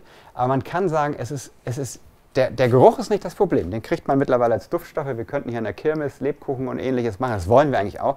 Das Problem ist, wir müssen dafür sorgen, dass der Geruch da bleibt, wo er sein soll. Und durch diese Lüftungsanlage verteilt sich das so schnell, dass wir wahrscheinlich Benzin und, ähm, und Reifengeruch weglassen werden, weil sich das dann überall verteilt. Und es gibt Menschen, die unheimlich empfindlich auf Gerüche und sehr unterschiedlich reagieren. Das heißt, alle Erfahrungen mit Gerüchen waren bei uns so, dass wir immer Minderheitenschutz auch machen. Es soll sich hier jeder wohlfühlen. Keiner vermisst den Geruch, wenn es andere stört. Und da den Kompromiss zu finden, wird nicht leicht. Aber Also- Lust hätten wir. Es kommen massenhaft Fragen rein und es kommen auch sehr spezielle Fragen rein. Äh, noch eine schnelle letzte, würde ich sagen, zur Formel 1. Oder hast du noch Bock? Oldtimer zur Fahrerparade? Oldtimer zur. Ach so, ja, ich muss erst mal raffen, was das Fritz. bedeutet. Ähm, ist eine witzige Idee. Wir haben einen Schattenbahnhof, also einen unterirdischen Parkplatz eingeplant, wo ich Autos rein und rausfahren kann. Da ist Platz für 44 Autos. 20 Formel-1-Wagen sind auf der Strecke, immer sozusagen. Und zwar ist es natürlich da, hier im Tunnel in Monaco, fahre ich im Tunnel rein, kann abbiegen und andere wieder rausschicken. Und ist eigentlich eine witzige Idee, die Fahrerparade zu machen. Danke für den Tipp. Okay, was war der größte Fail bisher im Wunderland? Wunderland fragt Jochen. Ich habe die Antwort, der Coronavirus, äh, das Coronavirus, aber wahrscheinlich technisch gemeint. Äh, technisch. Flughafen, glaube ich. Die paar Stunden, wo die mal die, die Startbahn gecrasht war, oder? Also wenn Doug aus dem Büro rauskommt und so guckt, dann ist technisch irgendwas kaputt. Ich gucke ihn mal gerade an. Nein, alles bestens. Okay. Ähm, der tech größte technische Fauxpas sind die Schiffe, weil das ist einfach nicht fertig geworden zur Eröffnung. Ich dachte, dass wir äh, Züge fahren können auf Schienen, wir können Autos mit Magnetunterstützung ähm, steuern, Schiffe wenigstens, die können nicht entgleisen, easy peasy, da habe ich mich verschätzt und bis heute nicht fertig bekommen aus zeitlichen Gründen. Und am Flughafen hatten wir hier und da äh, bei der, bei der, beim Bau große Rückschritte, aber wenn man jetzt den größten Fauxpas während der Öffnungszeit nimmt, dann sind es insgesamt drei Crashes am Flughafen bei uns. Und der schlimmste davon war, dass ein, ein ja, da kam eine Verkettung von ganz vielen Umständen zusammen. Die Flugzeuge werden ja auf Stangen aufgespießt, hochgenommen und dann äh, weggeflogen. Und hier gibt es eine Sensorik, die überprüft, ob das Flugzeug auf, auf der Stange ist. Und da ist, äh, führt jetzt zu weit zu erklären, was passiert, dass das Flugzeug so an der Stange hing und dann durch das Fenster, wo es durch soll, sich vor den Augen auch in dem Moment von der Stange gefallen ist und die Stangen haben das durch das, durch das Fenster versucht zu drücken. Es ist in x Teile zersplittert, das Fenster ist kaputt gegangen, die Stangen sind kaputt gegangen und das war für uns das Schlimmste, was wir uns vorstellen konnten, weil wir tatsächlich sechs Stunden lang am Flughafen standen. Hätte man mir 2011, als wir den Flughafen eröffnet haben und ich fünf Jahre lang immer Angst vor dem Dauerbetrieb habe, gesagt, dass ich 2020 mal sagen würde, der schlimmste Crash am Flughafen hat sechs Stunden äh, Stillstand bedeutet, dann hätte ich das ganz schön gefeiert. So, scheiß auf Kontaktlinsen. Ähm, ich kann mich noch gut Wer bist erinnern, als Gerrit hier den Flughafen gebaut hat, er hatte eine Wahnsinnsangst, dass das nach einem Jahr alles kaputt ist. Und ich finde das phänomenal. Und wir haben uns immer überlegt, können wir das Wunderland überhaupt noch öffnen, wenn unser Heiland Flughafen äh, nicht mehr läuft und so. Ich finde das phänomenal, dass man im eigentlichen ja sozusagen Hobbymaterial Maschinentechnik so sozusagen verbinden kann mit Hobbymaterial, dass das so lange läuft. Also ich als Nicht-Techniker habe immer noch, ich ziehe jeden Tag meinen Hut vor Gerrit und seinem Team. Das finde ich absolut wahnsinnig. Es ist unfassbar, wie man plötzlich toll kleine Schrift lesen kann. Ähm, wie viele Feuerwehrautos kommen auf die Formel-1-Strecke? Äh, wir werden kein Feuerwehrauto wahrscheinlich auf der Form. Wir haben eine Zufahrt vorgesehen, aber wahrscheinlich wird das der Zeit weichen müssen und die stehen dann nur an der Strecke, weil bei uns dann nicht so viel passiert, hoffentlich. Okay, also ich würde mal sagen, wir machen mal Pause zur Formel 1. Wenn ihr Lust habt, wir können auch nachher noch ein paar Fragen beantworten. Ähm, wir haben nämlich jetzt als Kirmes, Kirmes als dieses Thema, aber es ist x-fach nebenbei gefragt worden. Äh, also noch ein schnelles Thema. Einer war, glaube ich, etwas traurig. Äh, muss mal gucken, ob ich den Namen hier sehe. Finde ich jetzt, so, weil hier sind so wahnsinnig viele Fragen. Äh, Michael möchte so unheimlich, hat es letztes Mal wohl schon mehrfach gefragt und findet das ganz doof, dass wir es nicht beantwortet haben. Was für einen 3D-Drucker haben wir hier? Ich weiß es nicht. Also wir haben uns Ah, so, deswegen hat Gerrit Ja, sie nicht beantwortet. wir haben uns so viele angeguckt und natürlich ist auch eine Budgetfrage. Ähm, ich, hab, ich weiß es nicht. Ich muss es dann beim nächsten Live-Event nachreichen, weil äh, wir, wir es tatsächlich so gemacht haben, wir, können, wir konnten uns in unserem Budget dann nicht das mega, mega, mega alle Wünsche erfüllt Teil leisten, weil wir machen es so, die meisten Sachen können wir mit dem drucken. Wenn es richtig filigran wird, geben wir es einfach außer Haus. taz79.de, danke. Danke, danke, danke. Ist jetzt ein Insider. Ähm, wird es ein Motorradrennen geben? Ach nee, ich wollte ja das Thema mal wechseln. Es sind so viele äh, wirklich wahnsinnig Fragen, ob es Ausweichrouten für Überholmanöver gibt, äh, ob wir Tribünen aufbauen, weil die Gäste sich das ganz lange das äh, Rennen anschauen, ob es eine Siegerehrung gibt, wie viel Quadratmeter ist Monaco, wie sieht es eigentlich mit Südamerika aus, da können wir auch noch gleich mal zu kommen. Ähm, aber zwischendurch mal eine Geschichte, weil sie immer wieder kommt, die Frage, wann wir wieder öffnen das ist wahnsinnig schwer. Ich habe das schon am Anfang vom Live-Event gesagt. Ähm, wir natürlich am liebsten sofort, morgen. Das ist für uns eine Katastrophe, dass wir hier stehen und wir, wir, wir bauen hier einen Leitstand. Normalerweise bauen wir so einen Leitstand nachts technisch und tagsüber natürlich auch ganz viel.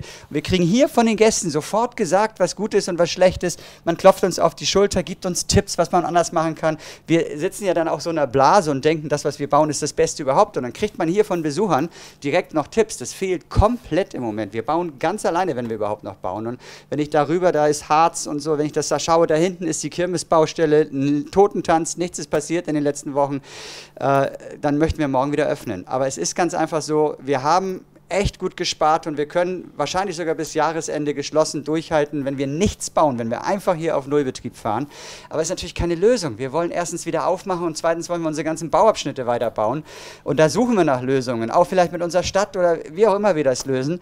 Ähm, heute sickern ein paar Dinge durch, die wir jetzt erstmal interpretieren müssen, was die heißen könnten, was morgen veröffentlicht wird, wann Freizeit wieder hochgefahren wird. Äh, wir beide haben jeden Tag Diskussionen darüber, da können wir auch später nochmal drüber äh, sprechen, wie wir eigentlich zu unserer Findung, unserer Meinung kommen und wie die sich auch verändert und wie wir diese äh, Sachlagen da draußen einschätzen, wie wir Fake News hassen wie die Pest, wenn irgendein Vollpfosten sich hinstellt und rückwärts rechnen möchte, wann angeblich das RKI hätte veröffentlichen müssen, dass die Reproduktionsfaktor unter 1 gegangen ist. Ey, da, da kann ich mich nur drüber aufregen, vor allem, dass dann zig Millionen Leute das auch noch teilen, so ein Schrott. Aber da können wir gleich gerne nochmal drüber reden, bevor ich mich weiter in Rage rede. Das ist für uns fast unmöglich einzuschätzen, wann es hier weitergeht. Heute sickern Dinge durch, die könnten uns suggerieren, dass wir hier im Mai drüber nachdenken könnten, schon wieder aufzumachen. Aber mit wie vielen Gästen? 990 Gäste ist unsere Zulassung und die sind hier sonst drin. Und äh, bis wir in unseren Köpfen wieder das Gefühl haben, dass wir das cool finden, mit so vielen Menschen in einem Raum zu sein, und wir brauchen ja auch eine bestimmte Zahl, um Geld zu haben, weiterzubauen, das ist keine Ahnung. Ich habe also, da, hab deinen Voll Vollpfosten neben der, ähm, nebenbei kurz mal gegoogelt. Willst du das wirklich? Willst du den Namen nennen? er ist ein äh, Professor angeblich für Wirtschaftswissenschaften an der Universität Hannover. Wer dieses Video gesehen oder be, be, äh, beobachtet hat, der meinte, das sei alles ein Fake gewesen, dass der Shutdown wäre gar nicht nötig gewesen und man hat uns da beschissen. An dem Tag, an dem der Shutdown entschieden wurde, war das, was er behauptet, man zurückrechnen konnte, noch gar nicht möglich zu rechnen. Aber er ist, er ist ein Wirtschaftswissenschaftler und ihr könnt ihn ja mal googeln zusammen mit den drei Buchstaben einer Partei, die sich eher am rechten Flügel befindet. Und dann seht ihr, für wen der normalerweise Reden hält. Und dann weiß man, was man von Fake News zu halten hat. So, auf jeden Fall. Stefan H. aus Hannover. Auf jeden Fall hoffen wir so schnell wie möglich, aber wir müssen uns auch damit sicher fühlen. Unsere 350, 360 Wunderländer müssen sich sicher fühlen. Und wir wollen, dass unsere Gäste nicht irgendwie so mit einem Schaudern wieder hier rausgehen. Und diesen Spagat zu finden, wann ist eine groß, größtmögliche Gästezahl wieder möglich, sodass wir auch äh, genug Geld verdienen, um das alles wieder anzufahren. Weil in der Sekunde, wo wir wieder auf den Knopf drücken und sagen, wir fahren diese Anlage wieder hoch, werden in jeder Stunde hier 30 Leute vom Wunderland gebraucht. 30 Wunderländer müssen dafür sorgen, mindestens, also an vollen Spitzen Ferienzeiten, ist eine Schicht, die hier das macht Bistro macht und weiter 60 Wunderländer. Und äh, das heißt, das muss man sich ausrechnen. Wann ist es finanziell sinnvoll? Aber auch wenn es finanziell sinnvoll ist, macht es Spaß. Fühlen sich Gäste so gut, dass sie hinterher wieder rausgehen und weiter bei TripAdvisor und Co. dafür sorgen, dass wir Nummer eins in Deutschland sind. Und das ist echt ehrlich gesagt ein Horror. Das ist ein Horror, weil du jeden Morgen mit einem anderen Gefühl aufwachst. Und ähm, ja, ich möchte auf jeden Fall nicht mit einem Politiker tauschen. Das muss der blanke Wahnsinn sein, egal wo die in der Welt sitzen, ob sie Diktatoren oder sonst was sind. Diese Entscheidungen zu treffen, ist der blanke Horror. Wir haben das hier im Kleinen zu tun und tun uns schon wirklich schwer. Wenn wir eine Prognose abgeben müssten, bevor wir heute durchgesickert bekommen haben, was unser Staat eventuell plant, hätten wir gedacht, dass man uns vielleicht unter bestimmten Auflagen mit einer ganz kleinen Gästezahl den Juni irgendwann eine Möglichkeit geben würde und wir würden das wahrscheinlich finanziell nicht als sinnvoll empfinden. und dann irgendwann nach den Sommerferien hin zum Herbst, falls es nicht eine zweite Welle gibt, wo es aus unserer Sicht echt ein ganz großes Risiko für gibt, dass es eine zweite Welle gibt. Äh, wir sehen das nicht so entspannt, wie viele, viele, viele gerade sagen, oh, es gibt ja gar keine Toten in Deutschland, alles Fake und sonst irgendwas. Warum gibt es diese Toten nicht? Weil Deutschland wahnsinnig viel richtig gemacht hat bis jetzt. Und äh, ich nehme diese, also wir beide kann man sagen, nehmen diese Warnungen der Virologen ernst, dass wenn am Anfang dieser Geschichte an verschiedenen Punkten in Deutschland Hotspots entstanden sind, die sich ganz schnell verbreitet haben, ein Shutdown sozusagen dafür gesorgt hat, dies, diese Hotspots, nennen wir sie jetzt mal 100 Hotspots, sich nicht noch weiter ausbreiten konnten, die haben sie jetzt über ganz Deutschland verteilt. Aktuell, glaube ich, 40.000 Infektionen sind äh, ja, sozusagen äh, aktiv im Moment. Wenn die jetzt gleichzeitig 40.000 statt 100 hochpoppen und sich in ihrer Gegend verbreiten, mache ich gar nicht drüber nachdenken. Das heißt, lieber ernst nehmen, als äh, zu vage und zu locker damit umzugehen, obwohl es das Wunderland wahnsinnig betrifft. Jeder Monat kostet 400.000 Euro, den wir dicht haben. 400.000 Euro jeden mit, Monat mit einfach den, weg. Mit den runtergefahrenen Kosten. Ne? Ja, mit aber den du bist jetzt ein runtergefahrenen bisschen Kosten. auf das Endthema sozusagen. Ja, dass, stimmt. äh, das ist, wir haben noch den Unterricht in den ersten sechs Stunden und wer in der siebten Stunde noch bleiben möchte, freiwillig kann, Kirmes. kann äh, das Thema Corona nochmal mit uns durchgehen, weil wir da, also teilweise auch Frederik und ich, unterschiedlicher Meinung sind. Aber wenn er das eben gerade schon erwähnt hat, ähm, das Hopkins, die Hopkins-Zahlen, die ihr immer seht, die sind nicht vergleichbar, weltweit nicht vergleichbar. Keiner weiß, wer wie viel testet und äh, wer wird eigentlich getestet. Aber es gibt Zahlen, die sind repräsentativer. Das nennt sich Euromomo. Und wenn ihr mal googeln wollt, euromomo.eu, dort melden die Länder ihre Verstorbenen. Da ist egal, ob die mit, unter, über, drunter oder auf Corona gestorben sind. Verkehrsunfall, sonst irgendwas. Das sind was. einfach Todesfälle. Ähm, da nehmen nicht alle Länder Europas teil und die Zahlen, und das ist das ganz Wichtige, wer das jetzt googelt und dann diese, diese Grafiken dort sieht, der äh, gelbe Bereich, ich kann mal eine in die Kamera zeigen, vielleicht sieht man es auch ein bisschen, der gelbe Bereich heißt, da kommen auch Nachmeldungen. Und wenn man das hier sieht, das hier ist die Grippewelle 2017, die ja so schlimm war. Die war auch wirklich schlimm. Und das hier am Ende, das sind wir jetzt. Und der gelbe Bereich, wie gesagt, das, ist, das sind noch Nachmeldungen, die kommen. Das heißt, wenn irgendjemand euch weismachen möchte, Corona ist nur ein Schnupfen, dann kann er gerne Johnson oder Trump heißen, aber von anderen solltet ihr das äh, wirklich nur noch, also wirklich nicht mehr ernst nehmen. Bei Trump Okay. und Johnson sollte man überlegen, egal, führt, führt jetzt zu weit. Aber das ist nur mal als Beispiel, man kann, wenn man sich so intensiv damit beschäftigt, wie wir beide, ähm, weil wir wissen wollen, wann das Wunderland wieder aufmacht, wir gucken halt ganz neutral in die Mitte. Wir, wir hören uns alles an, aber wir, wir bewerten das. Und ähm, ja.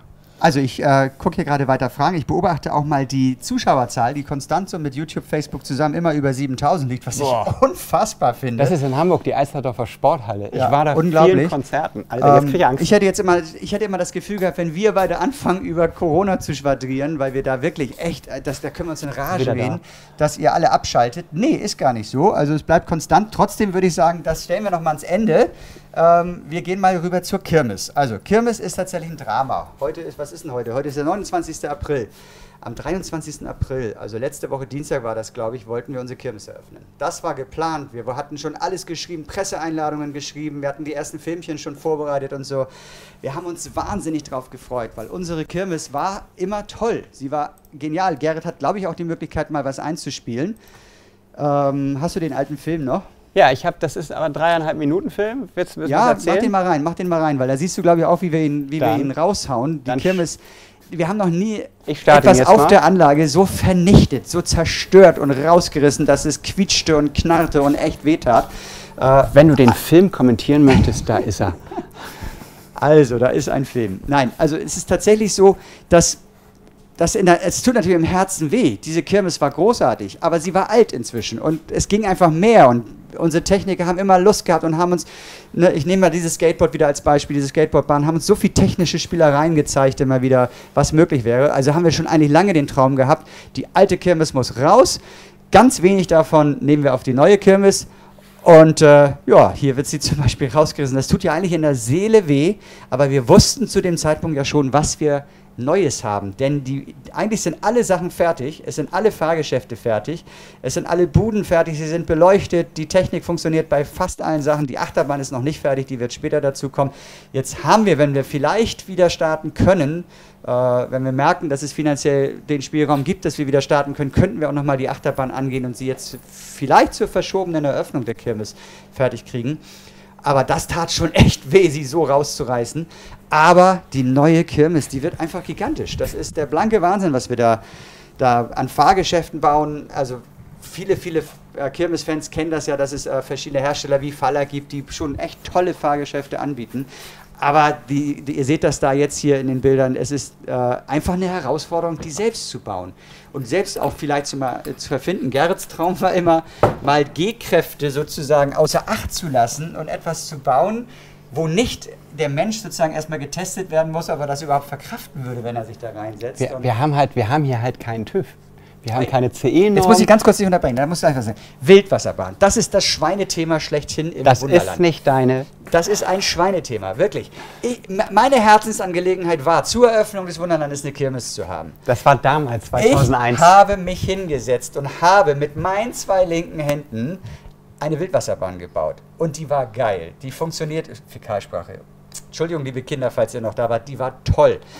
Die hat funktioniert, die war großartig. Wasser runter, es war, das war die Fallerbahn, es war phänomen- phänomenal. Ich habe sie abgegeben im Modell, habe gesagt, die kann mit rein. Ich habe aber nicht mehr geguckt und dreimal dürft ihr raten, was zur Eröffnung nicht dabei war. Keine Wildwasserbahn. Also ich weiß bis heute nicht, wo sie geblieben ist. Sie sind zu mir gekommen, haben sie mir gezeigt und äh, machen wir weiter. Sie war weg. Also auf jeden Fall, wenn ich jetzt diese Wildwasserbahn da gerade im Film gesehen habe, die wird traumhaft. Die hat, die ist auch komplett Eigenbau, weil es ist einfach ein Problem, wenn etwas 12, 20, 12 bis 20 Stunden am Tag, 365 Tage im Jahr laufen muss. Äh, da muss das halt auch immer laufen, weil jeder Gast möchte das sehen. Und diese Fahrgeschäfte, man sieht da schon, wie lange dran getüftelt wird. Äh, Freefall, den gibt es von Faller, der muss aber für diesen Dauerbetrieb optimiert werden. Aber wie ihr seht schon, ganz viele dieser Fahrgeschäfte, die gibt es gar nicht. Und äh, da sind so tolle Sachen auch erfunden worden. Also Magneto, Stefan Dombrowski hat äh, ein so ein tolles Ding erfunden. Das seht ihr gleich am Ende. Das äh, finde ich auch noch optischen Knaller. Das ist echt sensationell. Also Und halt eine Kirmes oder Dom oder Volksfest oder Oktoberfest besteht ja auch aus ganz vielen hier sieht man ähm. Hintergrundkulissen, Also der ganze das ist allerdings die Faller. Die da, was dahinter stattfindet. Also im Hamburger Dom haben wir eine, einen, einen kleinen ähm, Domwagen, also einen kleinen Zirkuswagen sozusagen, der hinter den Kulissen steht, was tagsüber als Schulet ist. Hier sieht man das Maschinarium. Das ist, ich finde das sensationell. Also sowas zu bauen, sowas zu erfinden und dann dafür zu sorgen, dass es hoffentlich auch im Dauerbetrieb funktioniert. Also das ist so traurig, dass es in dem Sinne der Lockdown einen Monat zu früh kam und Kirmes nicht fertig war, ähm, weil wir schon echt stolz drauf sind. Ich glaube, das wird, äh, das wird schon, gerade Kirmesfans gibt es in Massen weltweit. Ich glaube, diese Message, diese Kirmes wird um die Welt gehen. Diese Fil Bilder davon, diese, diese Videos, das wird bei Kirmesfans um die Welt, um die Welt gehen. Aber ich kann ja mal Aber ich kann ja zeigen, mal wie weit zeigen, wir wie weit wir sind. Ja, probier's doch mal probier's aus doch und mal halt aus sie richtig und halt rum. sie richtig rum. Ja, diesmal halte ich sie, Diesmal halte ich sie also so bin also ich, so aber bin ich, aber also, also diese Baustelle, diese Baustelle hier, ich habe hier, jetzt ich hab hoffentlich jetzt auch hoffentlich reicht auch der Ton, reicht der Ton. aber hier sieht Aber man, hier sieht man, so sind so wir sind am, wir am 17.3. stehen geblieben und warten jetzt darauf, dass irgendein Signal kommt, dass wir weitermachen können. Und dann geht es aber natürlich sofort los. So, ich gehe zurück zu unserem Leitstand zwischen den Kabeln. Ihr könnt ja mal reinschreiben, ob der Ton gerade funktioniert hat, dass Gerrit losgegangen ist, weil dann können wir das im Zweifel nochmal machen. Wir sind nach dem letzten äh, Live-Event etwas nervös im Haus rumzugehen, weil unser WLAN hier nicht so gut ist. Ähm, könnt ihr mal einmal schreiben, ob der Ton gut rüberkam, obwohl Gerrit da hingegangen ist und äh, dann äh, wissen wir das aber nämlich im Zweifel, als ich nochmal losschicken kann oder aber auch mal aufs Klo gehen Der kann. Stream ist immer noch auf der, äh, auf der GoPro. Also, Wie gut, dass es, dass es nicht wie beim Ton bei Bildern ohne Rückkopplung Ich habe hier keine einzige echte, äh, keine einzige Frage zur Kirmes. Also man muss dazu sagen, ich habe hier auf diesem Tablet nicht eins zu eins die beiden Scre äh, Livestreams auf YouTube und Facebook. Äh, Basti sitzt da hinten und versucht wild, wild das immer rauszuschreiben, was auf beiden Livestreams sozusagen an Fragen kommt. Äh, entweder war, ich kriege, Ton war okay, aber doppelt kommt hier gerade. Ähm, okay, also ich hoffe, ich hoffe, dass das gut funktioniert. Also ihr müsst bitte mir noch mal kurz hier schreiben. Ähm, können wir mit der GoPro rumgehen oder ist der Ton zu schlecht? Das würde ich noch mal mich freuen. Und habt ihr Fragen zur Kirmes? Denn entweder schläft Basti gerade da hinten oder es sind keine Fragen zur Kirmes bis jetzt da. Also, äh, vielleicht noch mal ganz kurz, es wird auch wieder Druckknöpfe geben. Das heißt, man kann viele der Fahrgeschäfte später auch wieder in Gang setzen. Das ist gerade für die Großen und Kleinen, also ich bin auch noch ein Kind, aber für die großen und kleinen Kinder so wahnsinnig wichtig, dass man im Wunderland nicht nur gucken kann, sondern mit den Knopfdrückern auch äh, Knopfdrücke in Gang setzen kann. Übrigens möchte jemand noch ein bisschen Schokolade haben.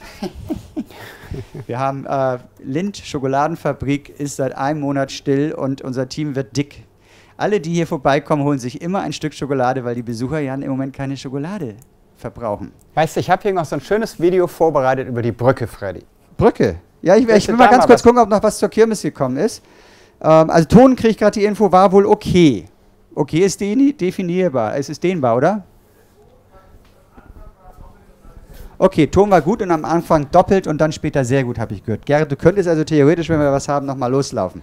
Alles klar. Also. Freddy, erzähl doch mal was über die. Sag mal, Wie viel LED, jetzt kommt eine Frage, wie viele LEDs wurden im Schnitt pro Fahrgeschäft verbaut? Das Boah. ist doch eine Frage an Gerrit. Kann ich nicht aus dem Kopf beantworten. Ich kann nur sagen, dass äh, zum Beispiel Nina habe ich mal über den Kopf geschaut über mehrere Tage. Die hat von einem Fahrgeschäft diese, diesen Schriftzug, der da oben drauf ist, äh, würde ich jetzt einfach mal schätzen, das waren vielleicht 300 bis 400 ganz kleine ähm, 01, 02er LEDs für die Leute, die sich auskennen, mit der Hand gelötet, zusammen verbunden und dann an eine Steuerplatine gebracht. Da hat sie über eine Woche dran gesessen. Und das ist bei jedem Fahrgeschäft so. Also, ein, also die meisten unserer Elektroniker, wir haben ja gesagt, jeder muss alles machen. Ne? Also da waren einige. 100.000?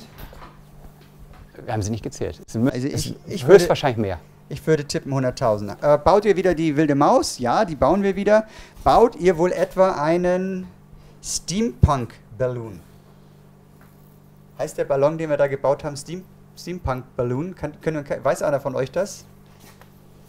Ist schon so das Genre auch. Das ist das Genre, okay. Ja, dann bauen wir das wahrscheinlich. Also wenn ihr ihn da gerade gesehen habt, das ist unheimlich, das ist natürlich klar. Wir haben ein riesengroßes Team an dieser Kirmes bauen, ich sag mal ungefähr 50 Köpfe mit und jeder hat so sein Fable und verbindet was anderes mit einer guten Kirmes und äh, da haben die auch wirklich freie Hand. So gerade bei der Ideenfindung ist es ganz wichtig, jeder bringt sich ein, dann entstehen riesengroße Listen, was könnten wir alles bauen und dann gucken wir, was macht Sinn. Wo ist entweder eine Nische, dass es das noch nie gab und dass es unbedingt mit auf die Anlage ist, was sind die Must-Dos und was bringt Spaß. Und diese Mischung kommt dann auf eine Kirmes, äh, die in dieser Form, also wie gesagt, sie wird da sein und die wird gigantisch. Das ist eigentlich ja kein neuer Bauabschnitt. Das sind, ich glaube, sieben Quadratmeter, acht Quadratmeter ungefähr. Aber diese sieben oder acht Quadratmeter sind auch teuer. Also Geld spielt ja immer keine Rolle. Spielt, also es hört sich doof an, aber Geld spielt da bei uns keine Rolle. Wir sagen uns, wir bauen eine Kirmes und wir haben 70, 80 tolle Techniker und Modellbauer und die bauen dann eine Kirmes. Die sind ja sowieso bei uns angestellt. Natürlich kriegen sie Geld dafür und es kostet auch Geld, aber wir, wir sagen, ey, komm, wir haben diese Leute und jetzt bauen wir das und das. Und dann leisten wir uns halt einfach mal ein halbes Jahr oder jetzt ist es ein Jahr geworden, eine Kirmes zu bauen. Und wenn man das dann am Ende ausrechnet, dann ist man eigentlich geisteskrank, dass man äh, ungefähr 100.000 Euro pro Quadratmeter an Lohnkosten für eine Kirmes hat. Aber das wird sich lohnen. Die ist gigantisch und ich als Spielkind kann es gar nicht erwarten, den ersten Knopf zu drücken. Und Da, da du mehr redest als ich und ich immer hier so gucke und so weiter, hier ist ja ein Bildschirm hinter uns, habe ich gerade für mich festgestellt, ich muss unbedingt an, an den Corona-Regeln, was das ins Gesicht fassen angeht, arbeiten. Ich habe mich zum da auf dem Friseur. Bildschirm, glaube ich, schon fünfmal erwischt, wie ich, ich habe da einen irgendwo... Tipp für dich. Ah, ja, ja. Also, ähm, hier kommen tatsächlich jetzt immer noch immer mehr äh, Fragen rein. Was hat die Kirmes gekostet, fragt Stefan. Das haben wir schon beantwortet. Wo haben wir die Ideen geholt? Äh, da ist zum Beispiel äh, Ich bin in den. Europapark gefahren und habe das Tollste überhaupt gehabt. Bei dem Europapark zusammen sind wir zwei Tage lang da durchgegangen. Ähm, der Europapark, muss man dazu sagen, das Schöne ist, die sind ähnlich wie wir. Die sind das Miniatur Wunderland in groß oder wir sind der Europapark in klein. Die funktionieren, es ist ein Familienbetrieb, die funktionieren ähnlich wie wir, die sind verrückt, die machen einfach, also nicht lange schnacken, machen auch die, bei Achterbahn jetzt nicht unbedingt, aber in der ersten Entwurfsphase sind die auch so ein bisschen Try-and-Error-mäßig unterwegs. Mal gucken, was gut funktioniert. Und da bin ich zwei Tage, habe ich zwei tolle Tage verbracht und habe mich sensationell inspirieren lassen. Da habe ich auch mit einem Techniker gesprochen, der Achterbahn designt und am Computer entwerfen kann, den ich natürlich auch sehr damit angefixt habe. mit- Neid. Stell dir vor, Ich war es nicht dabei. gibt keinen TÜV. Und du sollst eine Achterbahn konstruieren, wo jeder davor steht und sich die Spreu vom Weizen trennt. Die eine Hälfte sagt, oh, da will ich auch mitfahren, ich weiß aber nicht, ob ich mich traue. Und die andere kriegt schon das Kotzen beim Zugucken. stopp, noch nicht die Antwort geben. Noch nicht, ich weiß nämlich gar nicht, ich stelle dir gleich mal eine Frage. Ich, Anekdote, ich habe mit Felix Magath mich mal unterhalten und habe ihm dann irgendwie aus dem Nichts die Frage gestellt, äh, wie würde Fußball aussehen, wenn es keine Abseitsregel gäbe? Zwei, drei, vier Sekunden Stille. Und seine Antwort war, so ein Quatsch. wie war seine Antwort? Wie lange hat er gebraucht? Der, der hat sofort sich zu seinem Rechner umgedreht und hat gefragt, also da hat, hat er von sich aus gesagt, dann würde ich meinen Traum eigentlich äh, erfüllen wollen und frei fliegen. Und dann hat er dann ein Stück von seiner Bahn rausgenommen und ist dann durch den Looping durch. Und dann ist es ist die eine Achterbahn im Europapark, die hat er da auf dem Bildschirm geholt. Und dann fährt die Bahn durch den Looping durch. Und da ist er mit einer Schraube mit dem Zug durch den Looping durchgeflogen und dann wieder eingefädelt in die Schiene. Da habe ich auch gesagt, so, ey, wenn wir das hier technisch mit Luftdruck, Magnetfeldern oder wie auch immer, wir sind da noch dran, das werden wir auch nicht bis zur Öffnung hinkriegen. Dann kannst du ja mal Hinkriegen Europapark zeigen, wie es geht. Ja, Also hier sind so wahnsinnig viele Fragen. Also deswegen mache ich das jetzt stenomäßig, also staccato-mäßig. Wie viele Figuren werden auf der Kirmes verarbeitet? Wir ticken, tippen im Moment so 15.000 bis 20.000 Figuren. Wie viele Fahrgeschäfte sind es? Also fahrende Fahrgeschäfte tippen wir so 20. Ich muss gestehen, ich habe noch nicht nachgezählt. Dann äh, gibt es eine Webcam in der Achterbahn, haben wir tatsächlich überlegt und haben wir auch den Traum davon, nur muss die Achterbahn erstmal fertig werden. Wir haben jetzt erstmal die alte Faller wieder rausgeholt und haben die vergrößert. Aus drei Achterbahnen haben wir eine gemacht, damit sie richtig cool aussieht. Träumen aber ehrlich gesagt noch davon, dass wir eine komplett eigene Technik hinkriegen und da soll tatsächlich eine Webcam rein. Ähm, gibt es auf der Kirmes etwas zu essen? Für unsere Mivulaner bestimmt. Wir haben auch überlegt, ob wir äh, wieder mit Duft was da machen. Hat Gerrit schon vorhin erzählt, Duft ist immer so ein Problem, weil manche sich davon belästigt fühlen. Wenn ich zu schnell werde, müsst ihr Bescheid sagen. Kann ich als Besucher den Autoscooter steuern? Man kann was steuern, man kann sehr witzige. Wolltest du was sagen dazu? Den Autoscooter überlegen wir, ob wir den. Bei den Autoscooter werden wir mit der Technik aus der Formel 1 machen. Da werden sich wirklich frei die ganzen Wagen bewegen. Und dann haben wir überlegt, ob wir nicht einen über einen Joystick steuerbar machen. Aber das ist auch noch nicht sicher. Okay, wie geht das mit dem Flohzirkus? Da hat jemand gut aufgepasst im Hintergrund. Da war nämlich ein Mini-Flohzirkus zu sehen. Also, das ist echt eine wahnsinnig tolle Technik, die ich nicht erklären kann. Also das ist äh, über Magnetfelder funktioniert das. Also da sind kleine, da sind unter sind kleine Motoren, die Magneten bewegen, also ganz sozusagen fast willkürlich plus und minus zueinander mehrere Magneten und daraus passieren äh, entstehen wirre Magnetfelder und der kleine Mini-Flow ist tatsächlich ein ganz kleiner Magnet, der da drin sozusagen hin und her fliegt und da drüber ist die Lupe. Ist die einfache Erklärung, der Weg dahin ist wahrscheinlich, man muss es im Original gesehen haben. Es ist wirklich phänomenal gut. Okay, baut ihr alle selber oder kauft ihr auch manche Fahrgeschäfte? Wir bauen fast alle selber, aber wie ihr schon im Film gesehen habt, ein paar. Es gibt einfach so tolle Fahrgeschäfte, vor allem von Faller, dass wir davon auch welche genommen haben und dann aber teilweise umgebaut haben oder so mit der Technik verändert haben, dass sie diesen Dauerbetrieb auch standhält. Wie funktioniert das Maschinarium? Äh, letztendlich ist es ganz viel äh, ähm, Zahnradtechnik, oder? Es sind eigentlich nur Zahnräder, die sehr schlau äh, aneinander Ich geordnet habe eine sind. technisch richtige Antwort Dazu gegeben. gibt es noch, noch eine Steuerplatine, selbstverständlich. Die hat auch eine gewisse Intelligenz und die wird über, über Inputs ausgelöst, wo irgendwas ist und fährt dann einen Ablauf ab, wie zum Beispiel, dass der Rauch oben rauskommt, der vorher produziert wird. Also ist eine Mischung aus größtenteils Mechanik mit ein klein bisschen Mikrocontrollersteuerung. Okay, wie viele versteckte lustige Aktionen sind auf der Kirmes? Also ich habe vergessen, immer den Namen dazu zu sagen. Philipp fragt das. Wahnsinnig viele. Ich kann jetzt schon sagen, ich habe, also, ich, die sind ja nicht geplant. Also wir sagen jetzt nicht, oh, diese Figur, die muss das und das Lustiges machen. Wir haben natürlich eine Ideenliste und so, aber ganz viel dieser Figurenwitze entstehen einfach beim Bauen, wenn ganz viele verrückte Köpfe zusammen sowas bauen. Und ich, ich, teilweise kann ich da täglich wieder hingehen und sehe irgendwas Neues und lach mich schief. Ich frage mich manchmal, was unsere Modellbauerinnen und Modellbauer abends so trinken. Wie sind die Lottozahlen steht Wie da? sind die Lottozahlen? 4, 16, 32, 48, 49 50. und 15. Lässt sich Car System Technik an der Achterbahn umsetzen? Jein. Äh, jein deswegen, weil ja, haben wir gehofft und gedacht, vor allen Dingen auch die Formel 1-Technik, also K-System nicht, der Magnet das ist zu schwer, verliert die Kraft. Und die Formel 1-Technik haben wir den Strom erhöht und es getestet, aber es ist, wir haben es nicht zuverlässig hingekriegt, aber es ist eine Lösung, die wir in der Zukunft versuchen werden, also sprich mit gesteuerten Magnetfeldern den Zug darüber zu bewegen. Hier möcht, möchte jemand wissen, wo die Kirmes gerade ist. Äh, die liegt im Modellbau und ob die einstaubt. Sie ist abgedeckt, oder? Ich weiß gar nicht. Sie ist halb abgedeckt. Halb gedeckt. Äh, Also- macht es Sinn, mal zu versuchen, dahin Ich kann zu ja kommen? mal, während du hier weiter erzählst, ja äh, gehe ich einfach da mal hin, mal Update gucken, ob das Thomas geht. in der Regie. Jetzt, jetzt kommt's, jetzt, jetzt wird's, jetzt wird's so richtig, jetzt wird's wetten das. Also ich moderiere jetzt hier weiter und erzähle was vom Pferd. Gerrit nimmt sich die GoPro und läuft runter und falls es abbricht, müsstet ihr mir ein Gefühl geben, dass ich dann hier wieder weitermache. Also bis ich nicht mehr Gerrit höre, ja wie soll ich denn Gerrit eigentlich hören, wenn er jetzt weg ist? Also ihr könnt mir ja mal ein Zeichen geben, wenn ich aufhöre zu reden. Ich erzähle mir nämlich mal weiter. Äh, wie viele Knopfdrücker wird es geben? Es wird sieben oder acht geben. Wir haben es noch nicht richtig entschieden. Gerrit versucht, glaube ich, gerade zu reden und kriegt keinen Ton von mir. Äh, Gibt es eine Geisterbahn? Ja, es gibt eine Geisterbahn, Bianca. Fragt das. Gibt es natürlich. Bekommt die Kirmes auch einen Bahnhof? Ja, es ist ein Bahnhof dahinter, damit die kleinen Mivolaner auch wirklich dahin kommen. Äh, gibt es auch einen kleinen Bahnhof dahinter. Äh, Gerrit, falls du mich hören kannst, hier fragt äh, Benji, ob wir auch mal die Server zeigen können. Falls du das mitgekriegt hast, äh, Server zeigen. Also jetzt sieht man auf jeden Fall, die Kirmes da unten ist abgedeckt. Da sieht man die Fahrgeschäfte, da sieht man das alte Riesenrad, das haben wir noch wieder genommen. Äh, man sieht die Fahrgeschäfte. Gerrit versucht das jetzt. Mach es vorsichtig, Gerrit. Wehe, du machst jetzt was kaputt. Ich meine, da ist kein Modellbauer, der dir gerade auf die Finger hauen kann.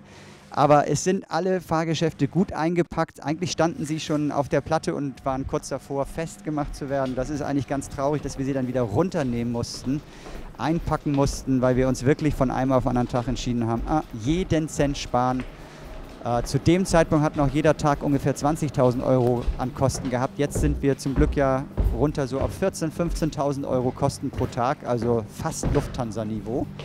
Und ähm, ja, aber das gibt uns schon eine Möglichkeit, lange zu überleben. Gerrit, ich glaube, das hat funktioniert. Ihr Lieben, könnt ihr mal äh, wieder in die Kommentare schreiben, ob das auch mit dem Ton geklappt hat, dass ich das von hier moderiert habe? Denn ich habe hier hinter der Kamera habe ich einen äh, Bildschirm, wo ich eigentlich das Mastersignal mit einer erheblichen Verzögerung sehe. Denn ihr müsst euch vorstellen, was wir hier sprechen, ist nicht in der Sekunde bei euch, sondern geht erstmal äh, dreimal um die Welt. Dann guckt sich das Trump einmal an, ob das auch in Ordnung ist oder Fake News ist. Und erst dann kommt es bei euch an. Und äh, das heißt, ich habe hier gesehen, dass das Bild eigentlich ganz gut war. Könnt ihr mal schreiben, ob es auch wirklich gut war und ob ihr mich auch gehört habt und ob ihr die Kommata in meinem Satz gefunden Das habt. Display ging aus hinten, deswegen dachte ich schon, dass der. Okay. Das Ich kriege gerade krieg gerade von unten so ein Zeichen, das kenne ich von Facebook. Ich glaube, das heißt super. Könnt ihr auch noch mal drücken? Ja, genau, das könnt ihr sowieso ganz, ganz viel drücken. Ne? Ich habe das am Anfang schon erklärt. Das liebt der Facebook-Algorithmus. Der liebt das. Dann denkt der wirklich, dass wir hier was zu sagen haben. Und wenn ihr alle gleichzeitig drückt, guckt vielleicht sogar Trump zu. Und Vettel und Heidfeld und wer auch immer, ne? Hamilton. Wen hättest du denn gerne ungern hier? Wen hättest du denn Ungerne. gerne ungern hier? Was für ein Deutsch. Gibt's nicht. Gibt's nicht. Okay, ich würde jetzt aber ehrlich mal sagen, es sind so viele Fragen zur Kirmes. Ähm, ich würde sagen, wir beenden jetzt mal die Kirmes. Gibt es irgendeinen entfernten Traum, den wir irgendwann mal bauen wollen? Das ist ein perfekter Übergang zur Brücke. Denn die Brücke ist eigentlich seit 15, 16 Jahren unser Traum, zu der kommen wir gleich. Äh, ja, wir träumen eigentlich, also wir träumen eigentlich immer davon, dass der nächste Bauabschnitt so schön wird, wie man sich das vorstellt. Ist jetzt ein klischeebehafteter Satz, ist aber wirklich so. Äh, wir träumen von Afrika, wir träumen von Asien, ähm, transsibirische Eisenbahn. Es gibt so tollste Themen auf der, also die kannst du gar nicht alle in einem Leben bauen, auch mit 350 Seelen nicht.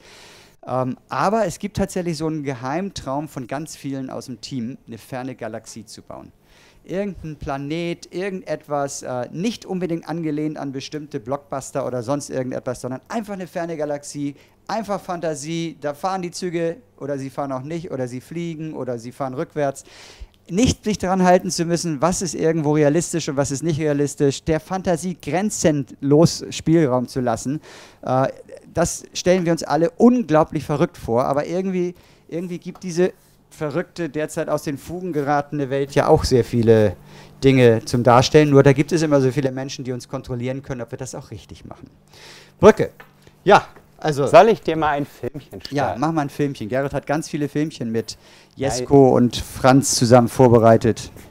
Franz, So, kannst du eigentlich die Kamera er. noch halten? Wir, ich sehe gerade, wir, sind- wir haben schon 90 Minuten hinter uns. Ein Fußballspiel, Fußballspiel. Ja, Brot und Spiele, sage ich dazu nur. Ja, das ist ein Fleet, das Fleet. Das ist nicht der oder die Fleet, es ist das Fleet, so heißt das hier in Hamburg. Und der ist, äh, der dahin, Kran ist dafür da. Der Kran ist dafür da, die, die Gründung unten zu machen. Denn die, die Speicherstadt steht auf Eichenpfählen und diese Eichenpfähle sind teilweise an der Stelle im Krieg beschädigt worden. Und bevor wir hier mit so einem Gewicht eine Brücke einbauen konnten, musste unten unterirdisch im Wasser äh, in Fleet erstmal der Schaden aus der Kriegszeit behoben werden. Und das hat dieser Kran da gemacht. Dann wurde jetzt in den letzten drei, vier Wochen hier in diesem Speicher und drüben ähm, ganz dicke, fette Eisenpfähle eingebaut, damit die Statik auch so funktioniert. Man muss sich vorstellen, wenn jetzt in diesem Fleet Barkassen langfahren und da steht irgendein Pfeiler irgendwie am Haus, irgendwie, das würde schlimm aussehen. Wir sind Weltkulturerbe und wir wollen das hier auch nicht äh, hässlich machen.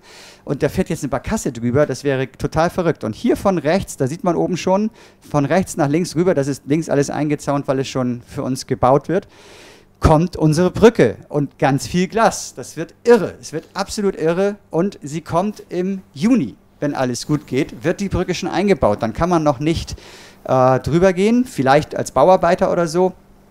Aber für die Besucher, je nachdem, ob wir uns das im Moment leisten können oder nicht, irgendwann Und hier, Die weiterzubauen. Frage wurde auch gestellt, ob der Denkmalschutz zugestimmt hat. Es gibt schon immer Glasbrücken oder auch, auch äh, Stahlbrücken in der Speicherstadt. Das war zehn Jahre lang Unterhaltung, aber der Denkmalschutz hatte am wenigsten Bedenken. Also es war auch eine super Zusammenarbeit und wir haben natürlich auch immer gesagt, es soll irgendwo auch machbar sein. Und ja, äh, das ist tatsächlich alles in den Sternen. Die Brücke wird jetzt eingebaut, aber wir müssen die Räume da drüben auf unsere Kosten ausbauen und ähm, das können wir erst wieder, wenn hier große Besucherzahlen kommen. Und das steht so ein bisschen in den Sternen, das steht alles äh, auf Stopp im Moment, aber die Brücke wird eingehängt und das wird ein Spektakel mit einem riesengroßen Kran und wir können ja noch mal schauen, ob äh, Besucher hier überhaupt zuschauen können. Im Moment mit diesen Kontaktregeln ist das absolut nicht möglich. Es wird auch wahrscheinlich weiträumig abgesperrt. Deswegen überlegen wir, wenn ein Facebook Live-Event zu machen. Und äh, wissen auch noch nicht genau, wann das so ist. Und das ist auf jeden Fall, wird spektakulär. Vom Parkplatz rüber übers Dach wird diese Brücke eingehängt. Und ähm, in dieser Brücke, und das war auch so, wir haben ja sehr offen mit dem Denkmalschutz und mit Weltkultur, aber mit der UNESCO gesprochen. Ähm, wir haben uns dazu gemeinsam entschlossen, dass es nicht sozusagen wie bei uns Anlagenkante 80 Zentimeter so eine riesengroße Anlage da in der Brücke ist, sondern dass die von außen, von links und rechts, wenn, man, wenn jemand das Fleet entlang guckt, wie eine Brücke nur aussieht. Die ist ja auch viel Glas, das heißt durchgucken kann. Deswegen kommt die Anlage in den Boden. Und da hatten wir eine Idee. Ursprünglich soll, wollten wir drüben England bauen. Warum Südamerika können wir auch gleich nochmal ganz schnell machen. Und wie da der Stand der Dinge ist, ist ja auch sehr kompliziert aktuell. Wir haben es in den Boden gemacht und da kam uns die Idee. Jetzt gucken wir ja beim Überqueren dieser Brücke auf der einen Seite cool runter in das Fleet. Das wird ein gigantischer Blick äh, für alle, die schwindelfrei sind. Jetzt gucken wir nach unten und dann kam uns die Idee, wir alle kennen diese schönen Bilder, äh, die Welt von oben. Im Internet, BBC-Dokumentationen, was es alles so gibt. Das sind so tolle, die Natur hat so wahnsinnig schöne Bilder von oben. Und unsere Wunderländer, unsere kleinen Wunderländer, begeben sich sozusagen auf dieser Seite, gehen sie in einem Bergwerk, in einen unterirdischen Tunnel, ganz futuristisch, steigen sie in einen Zug.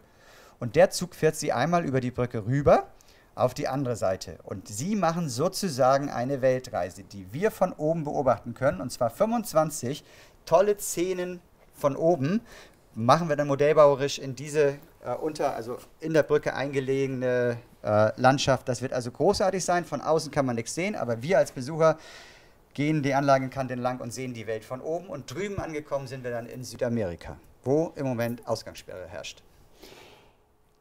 Jetzt habe ich hier eine Frage, das hat äh, Philipp gestellt. Jetzt mal eine traurige Frage. Was passiert mit dem Wunderland, wenn ihr beiden nicht mehr könnt? Gibt es der Nach da Nachfolger, die mindestens genauso verrückt sind wie wir? Also, erstens haben wir 350 Mitarbeiter hier. Wenn wir nicht mehr wollen oder nicht mehr können oder wie auch immer, würde mindestens sicherlich einer von denen das übernehmen. Oder die im Team wahrscheinlich würde es noch besser machen. Dazu habe ich drei Kinder. Stefan, der hier, der sich immer so ein bisschen im Hintergrund hält, hat drei Kinder. Das Äh. erzählst du selbst. Er dachte immer, es ist ein Unentschieden ausgegangen. Der junge Mann hier hat nämlich deutlich geführt. 3 zu Ja, 0, glaube ich 3 sogar, zu ne? 0, glaube ich. Ich überlege Ja. gerade, ich rechne gerade. 3 zu 0 und dann habe ich richtig schön nachgelegt. Und dann dachte er, okay, er kann sich auf ein 3 zu 3 einstellen. Nee, ich kriege noch ein viertes Kind, einen Sohn und äh, dementsprechend sind insgesamt zehn und wir haben auch noch einen Bruder. Elf. Basti hat ja auch ist schon- Traumhaft. Einer ist sicher. Wie viele sind schon wieder geplant? Kein Noch einer. Noch er. Also es gibt reichlich äh, Verrückte.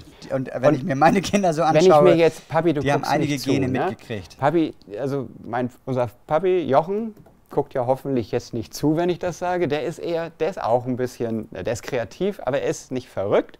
Er ist ganz äh, entspannt und normal. Und daraus sind diese beiden Verrückten entstanden. Und wenn man das jetzt dann sozusagen weiterentwickelt, was unsere Kinder, vor allen Dingen, wenn wir die dann irgendwann mal, momentan sind wir da noch vorsichtig, miteinander spielen lassen würden, was da an Verrücktheit entsteht, also ich mache mir da keine Sorgen. Also Außerdem werden die uns, wenn ich 80 oder so bin, hier raustreten müssen und sagen, oh, da kommt wieder der senile Tatterkreis an, der mir irgendwas erklärt, von wegen das K-System funktionierte früher besser. Ähm, ich schätze mal so, das passiert frühestens mit 80. Also äh, danke für diese schöne Frage, denn sie gibt uns ja ein Gefühl. Äh, ein Gefühl, dass wir das nicht ganz so schlecht machen. Das stimmt. Also wir machen noch weiter. Ich weiß nicht, Also, ob ihr noch danke. weitermacht. Ähm, denn hier sind ganz viele Fragen noch schnell zur Brücke gekommen. Und zwar, bevor wir nochmal zu Südamerika kommen, was wird die Brücke gesamt kosten?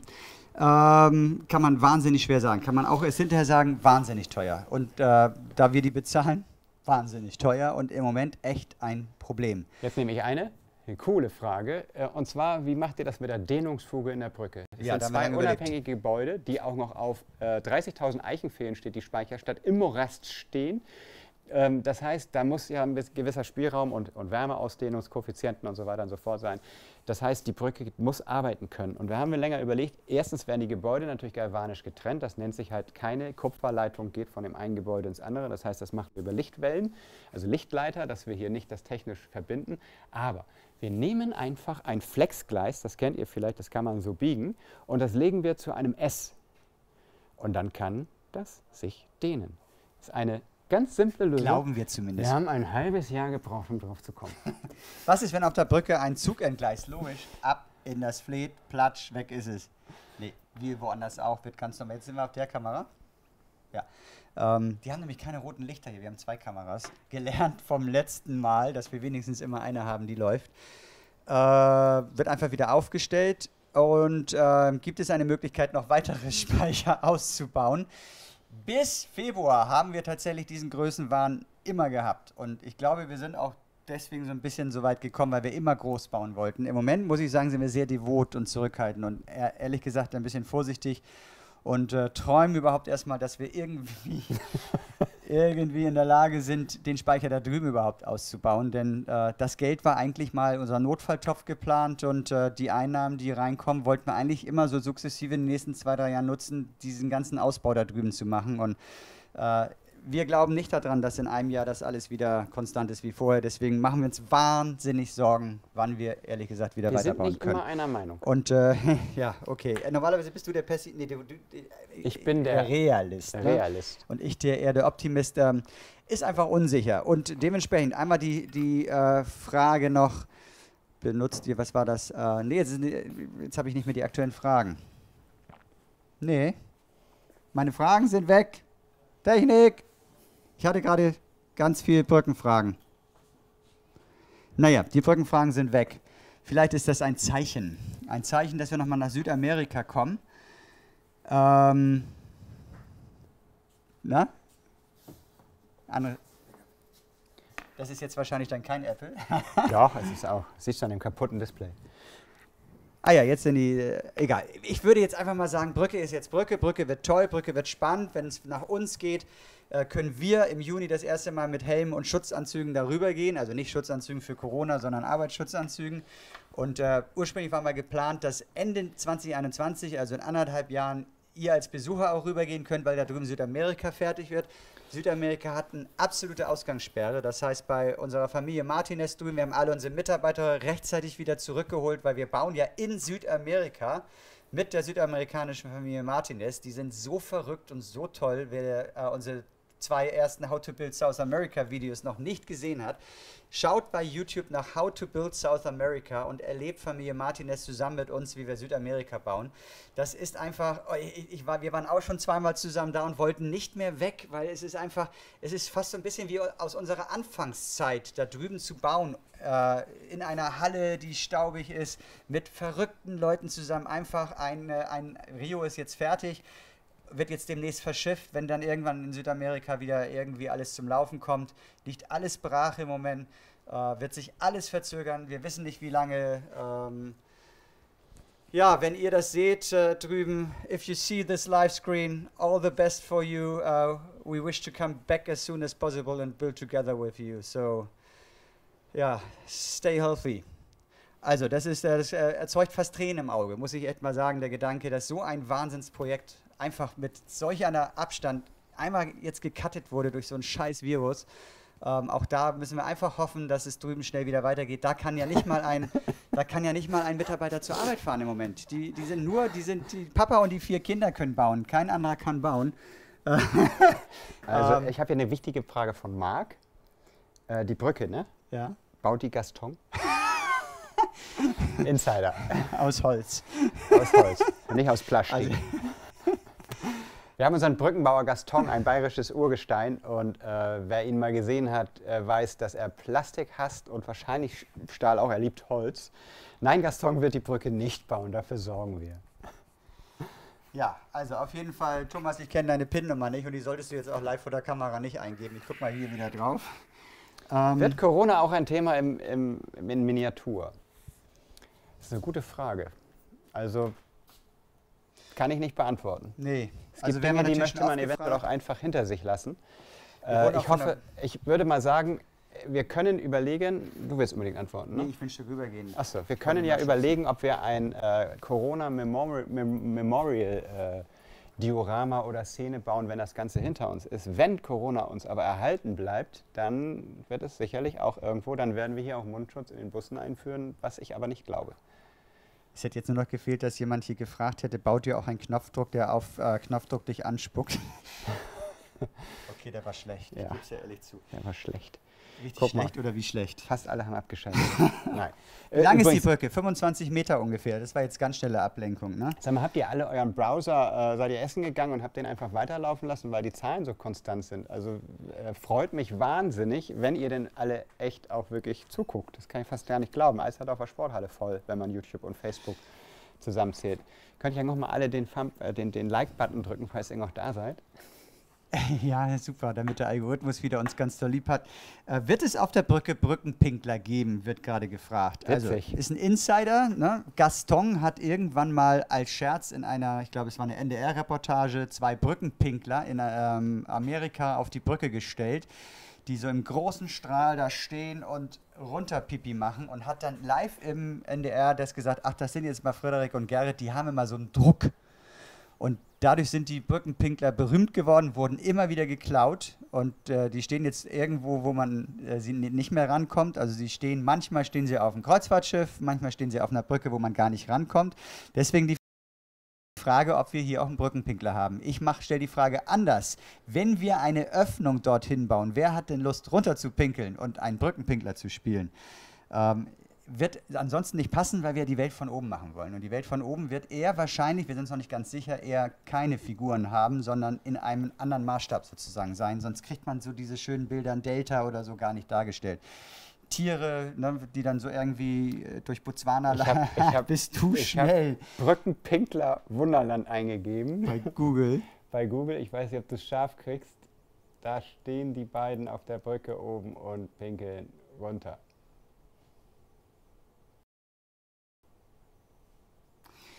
Okay, also ich glaube, wir müssen mal, ich sehe gerade, wir sind bald zwei Stunden online. Ähm, schnell noch die eine Frage, die hier beantwortet wird und dann äh, würde ich sagen, schnacken wir noch ein bisschen über. Corona. Ach, da kommen Fragen ohne Ende rein. Also nochmal ganz schnell, wie wird, die, wie wird Südamerika hertransportiert? Das machen wir tatsächlich in Etappen. Jetzt ist äh, Rio de Janeiro fertig und wenn hoffentlich der Shutdown dort wieder fertig ist, dann wird es eingepackt und mit dem Schiff rüber transportiert.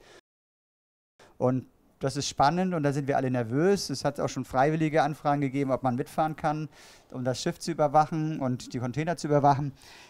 Ich vertraue dem oder wir vertrauen ihm. Das kommt hier gut an und dann lagern wir es hier erstmal ein, weil der Speicher da drüben muss erstmal ausgebaut werden. Dann äh, nochmal wieder Frage, was macht ihr mit den laufenden Kosten der Gehälter? Ja, haben wir am Anfang schon gesagt und beim letzten Livescreen deswegen nicht mehr so lange. Äh, wir haben am Anfang noch geträumt, als wir hier zugemacht hatten, äh, dass wir weiterbauen können. Ohne Besucher kann man viel besser eigentlich ja bauen, weil man nicht nur in einer Nacht bauen muss und so. Aber wir haben ganz schnell gesagt, äh, äh, dann ist unser Notfalltopf sehr schnell alle und wir wollen möglichst lange damit durchkommen. Uh, deswegen sind alle in Kurzarbeit. Das heißt, alle sitzen zu Hause. Viele von euch gucken gerade zu. Das haben wir beim letzten Livestream gesehen. Uh, ich hoffe, es geht euch gut und ihr habt noch irgendwo Laune und uh, dass wir uns gegenseitig vermissen, das schreiben wir uns ganz, ganz viel und viele kommen auch manchmal vorbei und ähm, ja, wir hoffen, dass das nicht mehr so lange geht. Denn das hält man ja auch emotional Äh, schwer aus. Irgendwann wird es langweilig zu Hause. Irgendwann ist alles sauber, irgendwann ist alles viel zu sauber. Das ist, das, ist, das ist tatsächlich, das ist ein Herzenswunsch von mir, an dieser Stelle mal zu sagen. Alle sind jetzt zu Hause und die Baumärkte sind voll, weil alle ihren Garten pflegen. Macht doch genau das Gegenteil. Verwüstet ihn, lasst, übergibt ihn der Natur, macht wilde Ecken, weil die Bienen, die Insekten und so weiter, die freuen sich einen Ast. Und ich glaube, dass die, ich könnte es mir, wenn ich mir meine Nachbarschaft so angucke, vorstellen, die Gärten wären alle ordentlicher, weil die Leute gerade so Zeit haben, ihre Gärten zu pflegen. Alles Unkraut wird rausgezupft. Das ist eigentlich suboptimal für unsere Natur. Aber das Thema Natur und Klimawandel und so weiter kommt ja sowieso gerade ein bisschen, bisschen zu kurz. Ich hoffe, so wie das die Leopoldina Stiftung ja auch in ihrem Entwurf, wo sich 26 Wissenschaftler aus verschiedenen Fachbereichen, die verschiedene Interessen vertreten, hingesetzt haben und innerhalb von kürzester Zeit ein Maßnahmenpaket geschnürt haben und das in wundervolle Sätze gefasst haben. Was für mich wirklich so ein Beispiel ist, nochmal, In der kurzen Zeit, 26 das ist für mich Fachbereiche, unterschiedliche Charaktere mit unterschiedlichen Interessen schaffen es, ein Papier zu formulieren, wo der Konsens wirklich in jedem Satz abgebildet ist, was subjektiv, ich betone, exakt meine Meinung trifft. Und da steht drin, es war übrigens dieses Leopoldina Stiftung, ähm, oder wie heißt das, Leopoldina Stiftung? Nee, was ist es? Egal, ihr wisst, was ich meine. Schon. Dieses, äh, was die Wissenschaftler veröffentlicht haben, was sie jetzt der Merkel gerne an die Hand geben würde, wie sie entscheiden soll. Da steht so ein magischer Satz drin, dass, der, dass das Wiederanfahren, ich glaube, Sie haben es sogar Wiederaufbau genannt, das Wiederanfahren der Wirtschaft bitte unter dem Gesichtspunkt der Klimaneutralität und des ökologischen äh, Gleichgewichts stattfinden soll. Sprich, man soll sich wirklich jetzt mal überlegen, ob man fossile Brennstoffe noch so subventionieren möchte, wenn man nicht äh, auch andere Wege gehen könnte. Und ganz ehrlich, ich unterbreche dich mal, wenn ich da wieder von einigen Firmen höre, ähm, es gibt nur das eine oder nicht. Entweder wir überstehen jetzt die Corona-Krise oder wir tun was für den Umweltschutz, da kriege ich das Kotzen. Dann ist das Geschäftsmodell falsch. Tut mir leid. Wenn das Geschäftsmodell nur durch Ausbeutung der Natur funktioniert, ist das, Das falsch. Geschäftsmodell falsch. Jeder leid. Chef, der das gerade das gehört hat, Geschäftsmodell bitte nur durch hinterfragt, ob Ausbeutung euer Geschäftsmodell auch einigermaßen Übrigens, wenn klimaneutral es geht. über Ausbeutung Also- von, anderen, äh, von, von anderen Ländern und äh, Menschen funktioniert, dann auch. Okay. Ähm, ja, wir können uns in Rage reden. Wir alle müssen uns an die eigene Nase fassen. Wir auch. Zu uns reisen ziemlich viele Leute.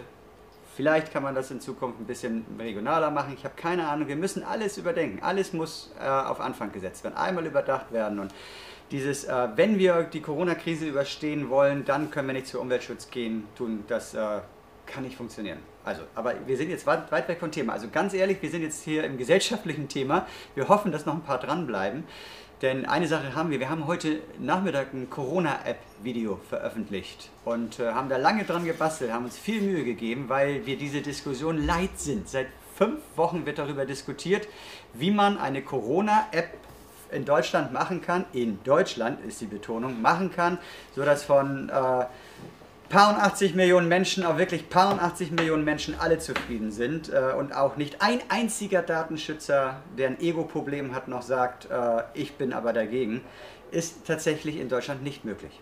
So, und äh, das hat uns genervt, weil äh, gerade wir als Touristenattraktion, wir hoffen, dass alles dafür getan wird, dass dieser blöde Virus endlich weg ist. Äh, dieses Virus äh, zerstört so viel, nicht nur finanziell, wirtschaftlich, sondern auch emotional. Und wenn so eine Corona-App dafür sorgen kann, dass es eine Eindämmung gibt, dass man die Infektionswege einfach schneller zurückverfolgen kann und vorher trennen kann, dann ist es scheiß noch, scheiß noch wirklich okay, die sich auch einfach mal dann runterzuladen, wenn die in ein paar Wochen kommt. Nicht unterbrechen, in ein paar Wochen runterkommt. Ich rede mich jetzt in Rage, äh, äh, weil die haben das jetzt dezentral gemacht. Es läuft nur über IDs, die andauernd wechseln. Es ist nur auf dem eigenen Handy gespeichert und nicht mit Rückverfolgung möglich, ob das jetzt der oder die oder das war und ob die gerade äh, sonst wo war oder sonst wo war. Und ganz ehrlich, es ist für mich ein Scherz, was jetzt schon bei unserer Corona-App, die wir ganz liebevoll gemacht haben, einfach dargestellt, wie es ist, neutral, so funktioniert sie, für einen Scheiß untersteht, da kriege ich ehrlich gesagt das Kotzen. Es tut mir leid. Ich kann nur noch kotzen. Da stehen Kommentare durch von, äh, drin von wegen, ich lasse mich in Deutschland nicht tracken, wo ich überall bin, damit der Staat überall weiß, wo ich bin. Scheiße, informiert euch, bevor ihr so einen Müll bei Facebook schreibt. Es tut mir wirklich leid. Diese Corona-App ist eine Chance. Und jeder, der das geschrieben hat, tut das bei Facebook mit einem Apple. Handy, googelt vorher, wo ist das Wunderland eigentlich und sagt, es ist scheiße, wenn das nur de- dezentral gemacht ist und wieso ist der Source Code noch nicht veröffentlicht? Da könnte ja irgendwo noch was ganz Bösartiges drinstecken. Tut mir leid.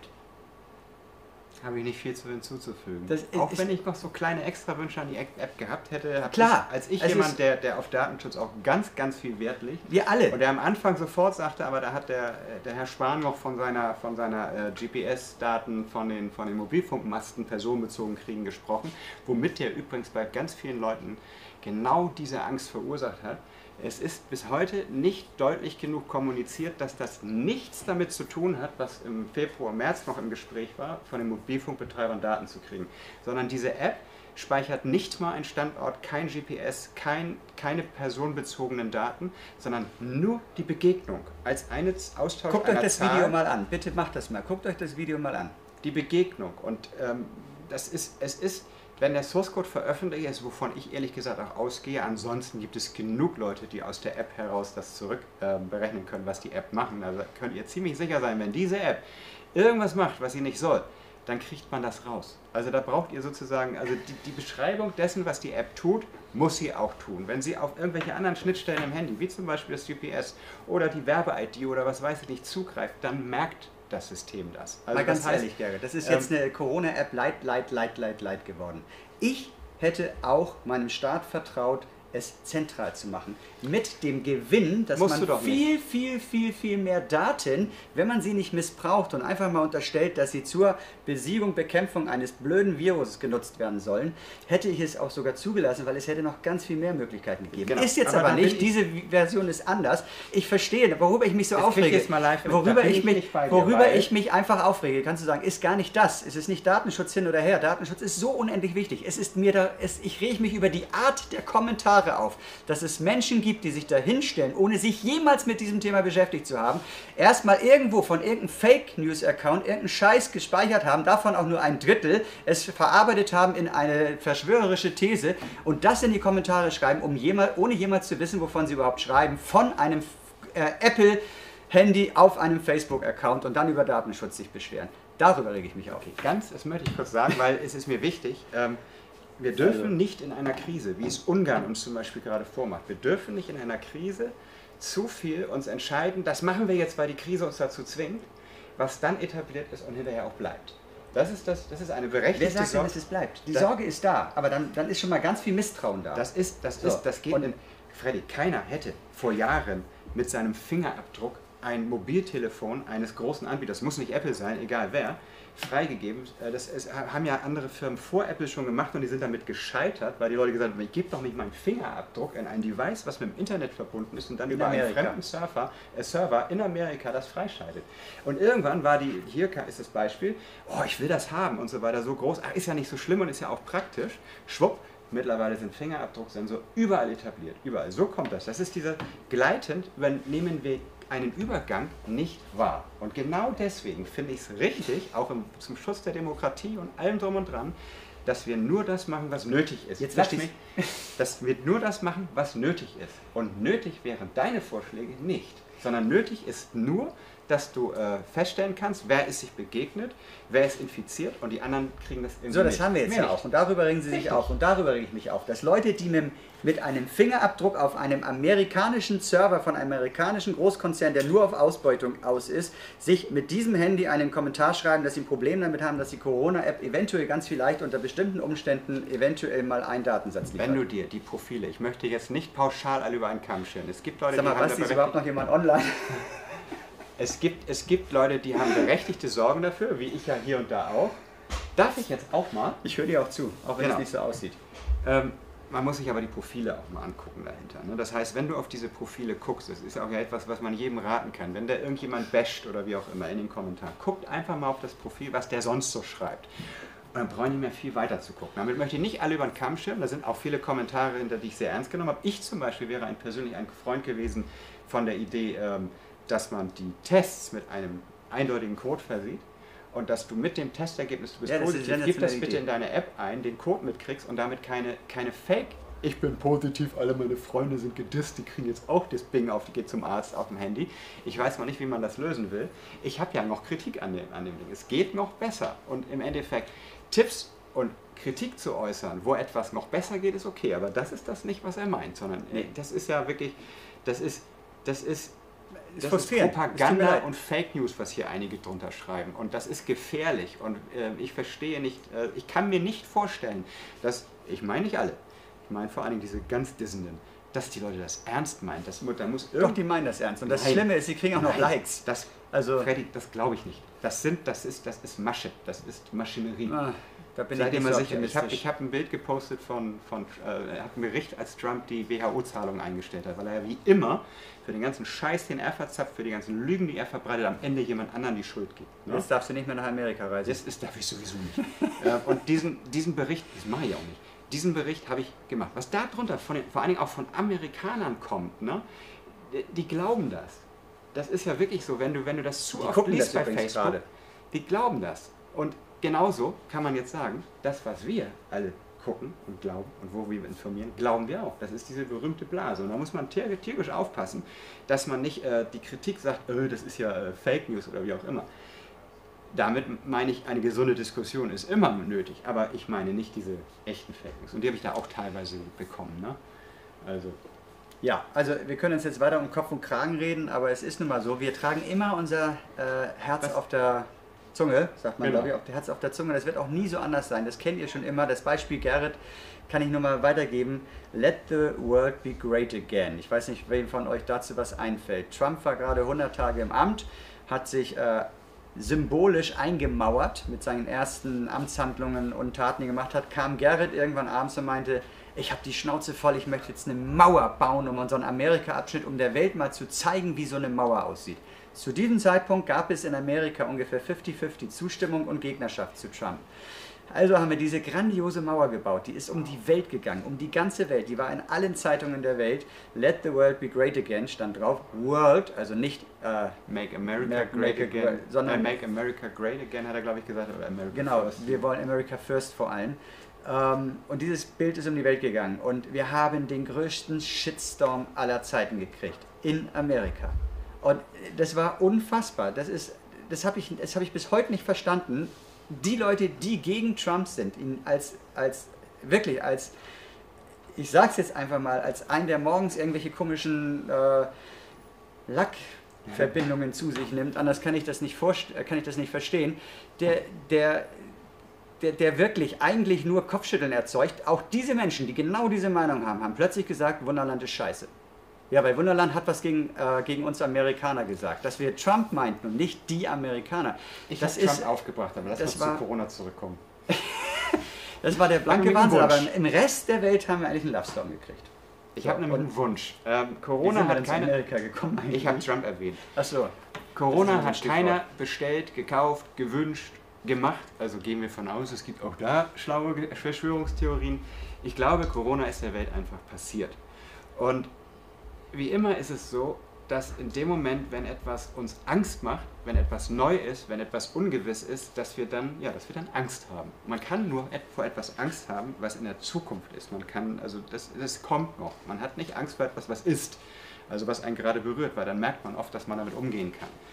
Und genau diese Angst lässt viele Leute dazu bringen, äh, auf bestimmte Dinge, die ihre Angst bestätigen oder wo Hoffnung gemacht wird, reagieren. Auf der anderen Seite gibt es unheimlich viele Menschen, die wissen ganz genau, so eine Krise, wie wir jetzt haben, ist eine unheimliche Möglichkeit Ja. für Machtverstärkung. Das heißt, wenn man sich immer erstmal überlegt, wer sagt mir das? Folge dem Weg des Geldes ist ja auch so ein Spruch. Ne? Was will der erreichen? Dann fragt man sich, okay, unsere Regierungen haben entschieden, haben sie entschieden, um ihre Macht zu stärken? Oder äh, was könnten die sonst damit bezwecken? Da kann man sich diese Frage relativ schnell beantworten. Aber worauf ich hinaus will, ist, keiner von uns weiß wirklich über Corona Bescheid. Vielleicht wissen es einige Wissenschaftler, aber die Wissenschaftler, die vermeintlich sich damit auskennen, kennen es auch immer nur in dem Bereich, wo sie forschen. Das Ganze, das sind wahnsinnig viele Informationen weltweit, läuft gerade in so einem riesengroßen Rührtopf zusammen und ab und zu springt mal was hoch. Jetzt ist gerade zum Beispiel aufgefallen, Portugal hat eine Polio-Impfung. Deutschland hatte die in dieser Zielgruppe, wo die Todesrate so hoch ist, auch bis vor einigen Jahren. Das sind genau die Länder, wo wenige Tote sind. Plötzlich könnte man überlegen, ob die Polio-Impfung eventuell vor Corona schützt. Nur mal so als ein Beispiel. Ein Bandwurmmittel ist jetzt herausgefunden, könnte helfen bei der Behandlung. Es ist verrückt, jeden Die Tag meisten- kommen neue News. Die meisten Dinge sind äh, bald wieder vergessen.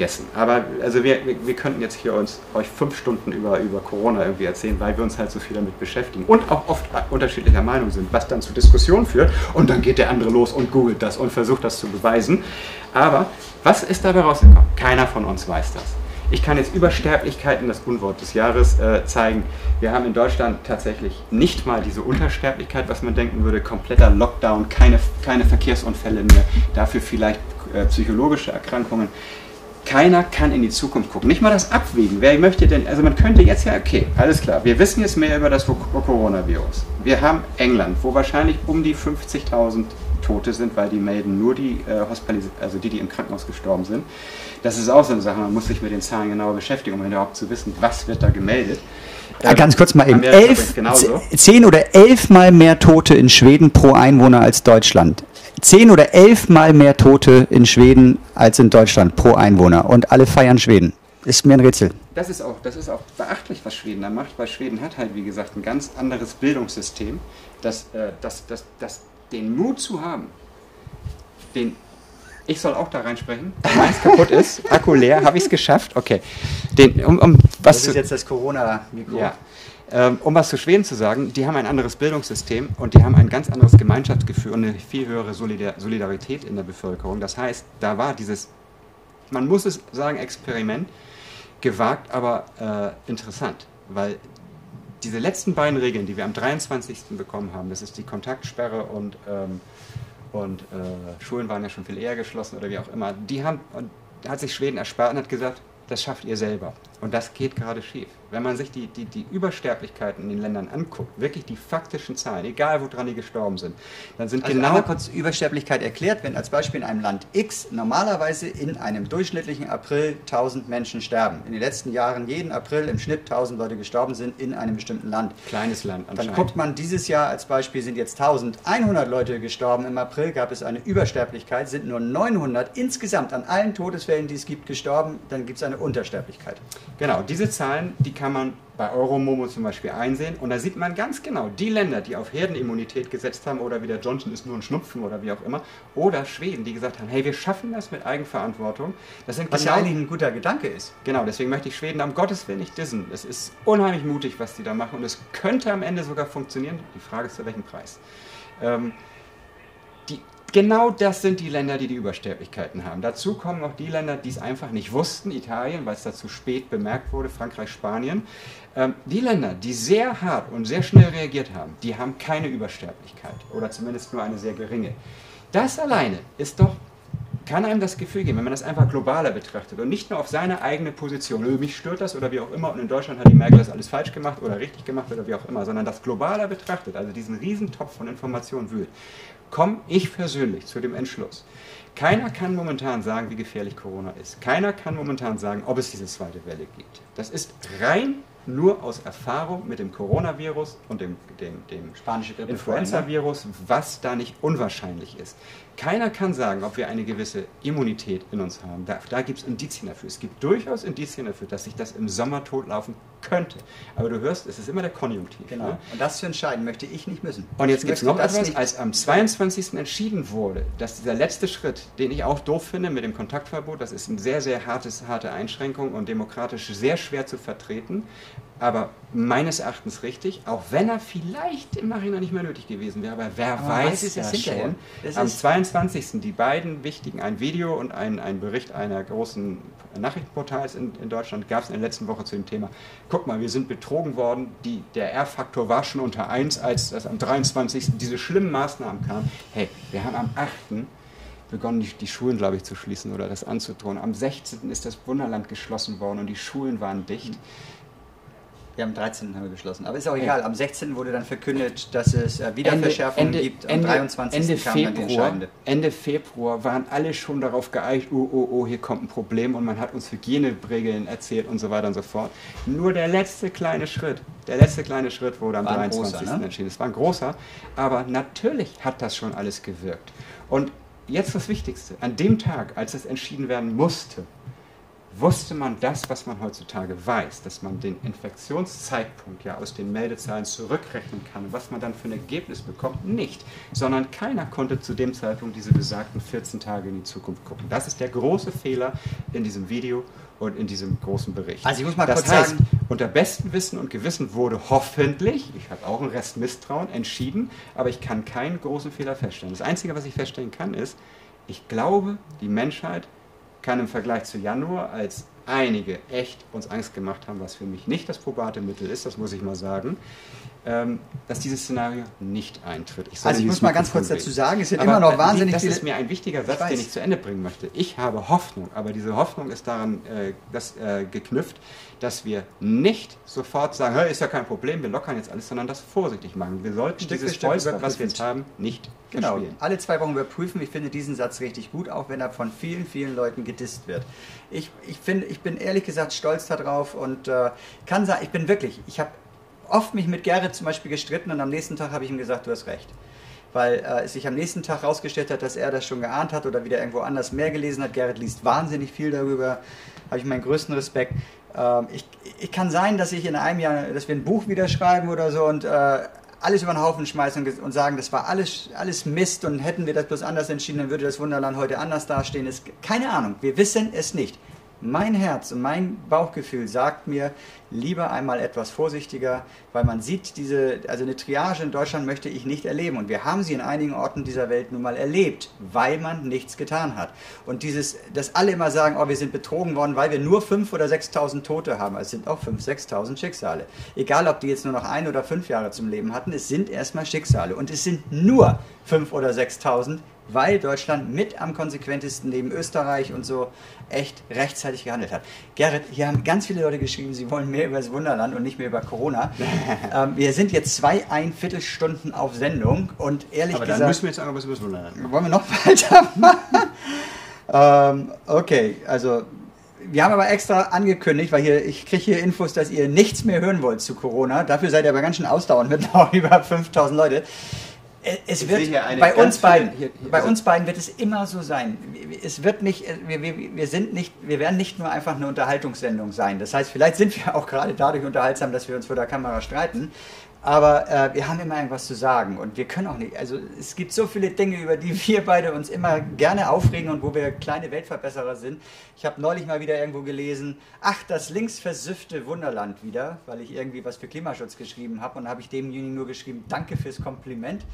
Äh, wenn wir einfach blind durch die Welt laufen, dann können wir auch gerne so weitermachen. Und da müsst ihr dann einfach in dem Moment durch oder hoffentlich nicht abschalten. Wir kommen jetzt noch mal kurz zurück aufs Wunderland. Also danke, dass ihr uns diese 20 Minuten gegönnt habt.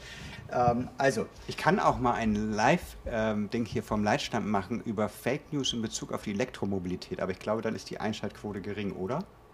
Ich habe keine Ahnung, was du meinst. Ja, über den ganzen Schwachsinn, der über Elektromobilität Nein, wir, wir bleiben jetzt mal ganz kurz noch beim Wunderland. so, genau. Nein, Also, nicht jetzt. so, ja, du, also- mich, du musst zuhören. Zuhören und dann da reinsprechen, ja? Man hört zu und spricht da rein. Ich bin ein Mann. Ich habe hier die Frage bekommen, dass, also die ist ganz oft gekommen, äh, ich soll mal unsere Server zeigen. Ich kann das ja einfach mal versuchen, aber jetzt, Franz, reicht dieses Funkmikrofon bis nach unten? Nein, dann kommentiert Dann Freddy muss das. ich das kommentieren. Also, da muss ich dazu nochmal sagen, ich, wir gucken ab und zu an der Kamera vorbei, ganz klar deswegen, weil wir haben hier einen Monitor, wo man sieht, wenn die uns in der Regie da was einspielen, also Thomas die Regie.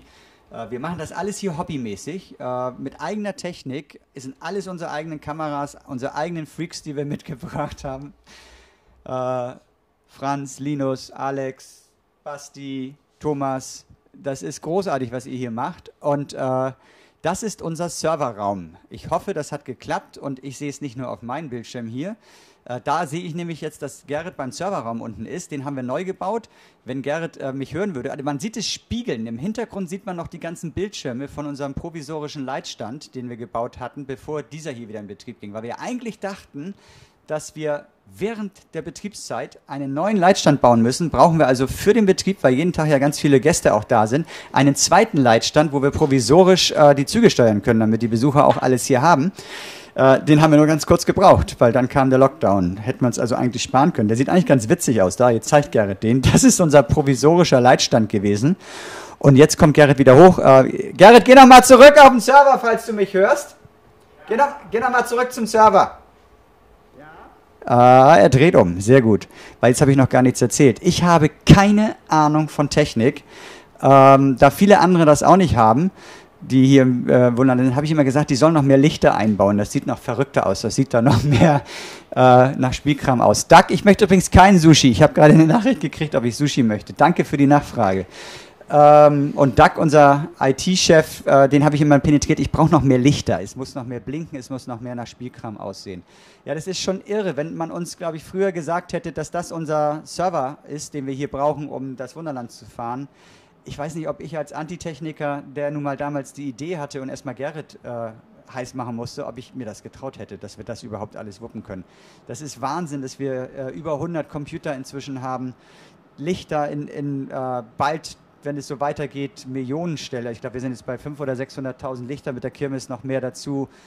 Äh, das ist unfassbar, dass wenige Leute, also unsere IT-Abteilung sind eigentlich nur zwei, drei Leute, dass die das alles am Laufen halten, das ist Wahnsinn. Also wir sind sowieso, glaube ich, die stolzesten Chefs, die es in Deutschland gibt. Also ich glaube, das hat funktioniert, außer dass unsere Zuschauer wenig Informatives über den, Leitsta äh, über den Server erfahren haben, weil Mr. Technik Brain einfach mal gefehlt hat. Vielleicht willst du nachträglich dazu noch was sagen? Ich dachte, als du das zweite Mal sagtest, hast du dir Duck geholt oder wie auch immer. Das wäre Also- die Idee gewesen. Wir sind da nicht besonders spektakulär. Äh, Es ist bei uns auch viel auf Betriebssicherheit ausgelegt, aber im Endeffekt, äh, wir haben insgesamt für den, äh, wir haben sicherheitsrelevante Computer 53, die für den Betrieb erstmal lebensnotwendig sind. Dann haben wir natürlich das, was im Hintergrund läuft. Das ist von der Eintrittskasse bis über was irgendwas. Kommen wir auf 120 Rechner, die irgendwie laufen müssen, um hier einwandfrei zu funktionieren. Und im Endeffekt laufen wir über vier große Server, Datenbanken und ähnliches. Und das war's schon. Die Züge haben einen eigenen, alle anderen Steuerungssysteme haben einen zweiten. Und dann äh, der Rest ist eigentlich eher Verwaltung und ähnliches. Ich schnapp mir das nochmal eben. Ähm, seid, also ganz schnell ein paar Fragen antworten und ich würde sagen, dann kommen wir demnächst mal zum Ende und sind stolz, wie lange ihr da geblieben seid. Seid ihr Eigentümer des Speichers? Nee, das sind wir nicht. Wir sind Mieter ähm, und wir zahlen auch aktuell noch unsere Miete. Und ja, werden tatsächlich aber irgendwann darüber reden müssen, weil wir einfach nicht wissen, wie wir sonst weiterbauen können. Das ist also, wenn wir einfach Stillstand machen und einfach nichts tun und schön brav zu Hause sitzen, klar, dann kommen wir hier ziemlich weit, aber das bringt irgendwie allen nicht. Wir müssen irgendwie weiterbauen. Und dafür muss es Lösungen geben, hoffentlich. Wird es vom Brückeneinbau im Juni einen Livestream geben? Ja, den wird es geben. Dazu sagen wir euch rechtzeitig noch ganz viel Bescheid. Ähm, dann baut ihr auch Kirmestransporte für das Car-System. Wollte ich Ja, schon immer mal vielleicht. machen, haben wir dann doch zehn Jahre lang vergessen und jetzt äh, bietet sich das an. Also wir hätten total Lust, aus, mit, Lust drauf, mit zwei Anhängern und so wie man es kennt. Äh, Nehme ich mal wieder mit auf. Danke. Sind wir beide als Figuren auf der Anlage verewigt, fragt Markus. Ja, die Brückenpisser und sonst glaube ich nicht. Wir haben einen Live-Dreh. äh, Ach ja, stimmt, für den Pro7. Pro 7 war Für das. Galileo sind Ja. wir drin. Ansonsten weiß ich es nicht. Okay, ähm, benutzt ihr auch Arduinos? Das habe ich Ja. mich bestimmt blamiert. Also wir benutzen tatsächlich auch Arduinos oder wie du sie genannt hast, Arduinos und Raspberry Pis. Äh, Raspberries benutzen wir beides, ähm, haben mit beiden ungefähr ähnlich gute Erfahrungen. Wir wollten sie eigentlich beide einsetzen, um zu schauen, was, äh, was besser ist. Für die, die es nicht genau wissen, es sind kleine Mikrocontroller mit einer kleinen Platine, die man äh, relativ einfach programmieren kann. Für so kleine Aufgaben, hier mal ein bisschen eine Lichtschranke abfragen und dann kommt der, der Ausgang, äh, sind sozusagen für jedermann mittlerweile mit ein bisschen Programmierkenntnis zu bedienen. Auch die setzen wir für kleine Nebensächlichkeiten gerne ein. So, und während wir hier reden, mir, wird mir eins klar gerade bewusst, wir haben heute unsere Corona-App-Video mit sehr, sehr viel Aufwand fertiggestellt und es war ehrlich gesagt knapp, weil wir es heute unbedingt um 15 Uhr veröffentlichen wollten. Einige unserer Leute, die jetzt gerade hier sind, sind seit 7 Uhr heute Morgen hier, deswegen sollten wir gleich mal zum Ende kommen, denn die wollen wirklich mal schlafen und ich bin euch wahnsinnig, wir sind euch wahnsinnig dankbar. ganz, ganz schnell noch eine wichtige Frage. Wie, wenn ihr das Ganze aus Südamerika mit dem Schiff hierher holen müsst, warum baut ihr das dann in Südamerika? Ja, hört sich eigentlich ganz blöd an, ne? Nee, ist ganz logisch. Wir wollten das authentischste Südamerika aller Zeiten bauen. Das heißt also wirklich ein Südamerika, das nicht von Europäern klischeehaft gebaut wurde, sondern klar diese Klischees beinhaltet, deswegen bauen wir zusammen, aber auch Südamerika, ihre ganz, äh, Südamerikaner, ihre ganz eigene Art und Weise, die sind nun mal ganz anders als wir Europäer. Äh, man könnte ja fast sagen, die genießen ihr Leben auch anders als wir. Und äh, die bauen auch Ecken mal rund, wenn es einfacher geht dadurch oder schneller geht und billiger ist und nicht so wichtig ist, wie es aussieht. Das alles sollte zusammen in einem Abschnitt zu sehen sein. Also das verrückte Südamerika mit dem perfektionistischen Europa sozusagen gepaart. Und das wird so wahnsinnig gut. Und das war die absolute richtige Entscheidung, das unten in Südamerika zu bauen oder wie die sagen, wir sind oben und ihr seid unten und so weiter. Ähm, das ist, es wird guckt euch How to Build South America in unserem YouTube-Kanal an. Da kommt es schon ein bisschen rüber. Ihr werdet es aber erst sehen, wenn ihr es hier anschaut, was wir meinen. Also diese Ecken, diese Straßenkanten, diese Häuserkanten, die Bemalung, die Graffitis, komplett mit Hand gemalt. Das sind Kunstwerke. Die Bäume mit Hand gemacht. Das ist der blanke Wahnsinn. Die haben, sagen uns jedes Mal, was sie wahnsinnig von uns lernen. Und wir sagen, sagen ihnen jedes Mal, was wir wahnsinnig von denen lernen. Wenn man diesen Satz einfach hört, was gibt es dazu mehr zu sagen, als dass das ein Märchen ist, was man sicherlich sehen wird?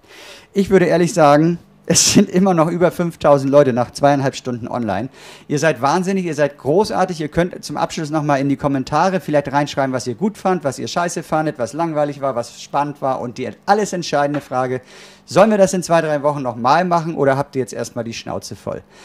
Wir wollen jetzt alle erstmal zusammen diesen blöden, diese, dieses blöde Virus besiegen. Äh, das äh, geht auch ganz gut, indem man ein bisschen schläft. Schlafen ist gesund und gesund muss der Körper sein und das sollten wir jetzt alle mal tun. Und deswegen von mir gute Nacht und ich glaube, ich habe endlich mal das letzte Wort. Danke fürs Zuschauen.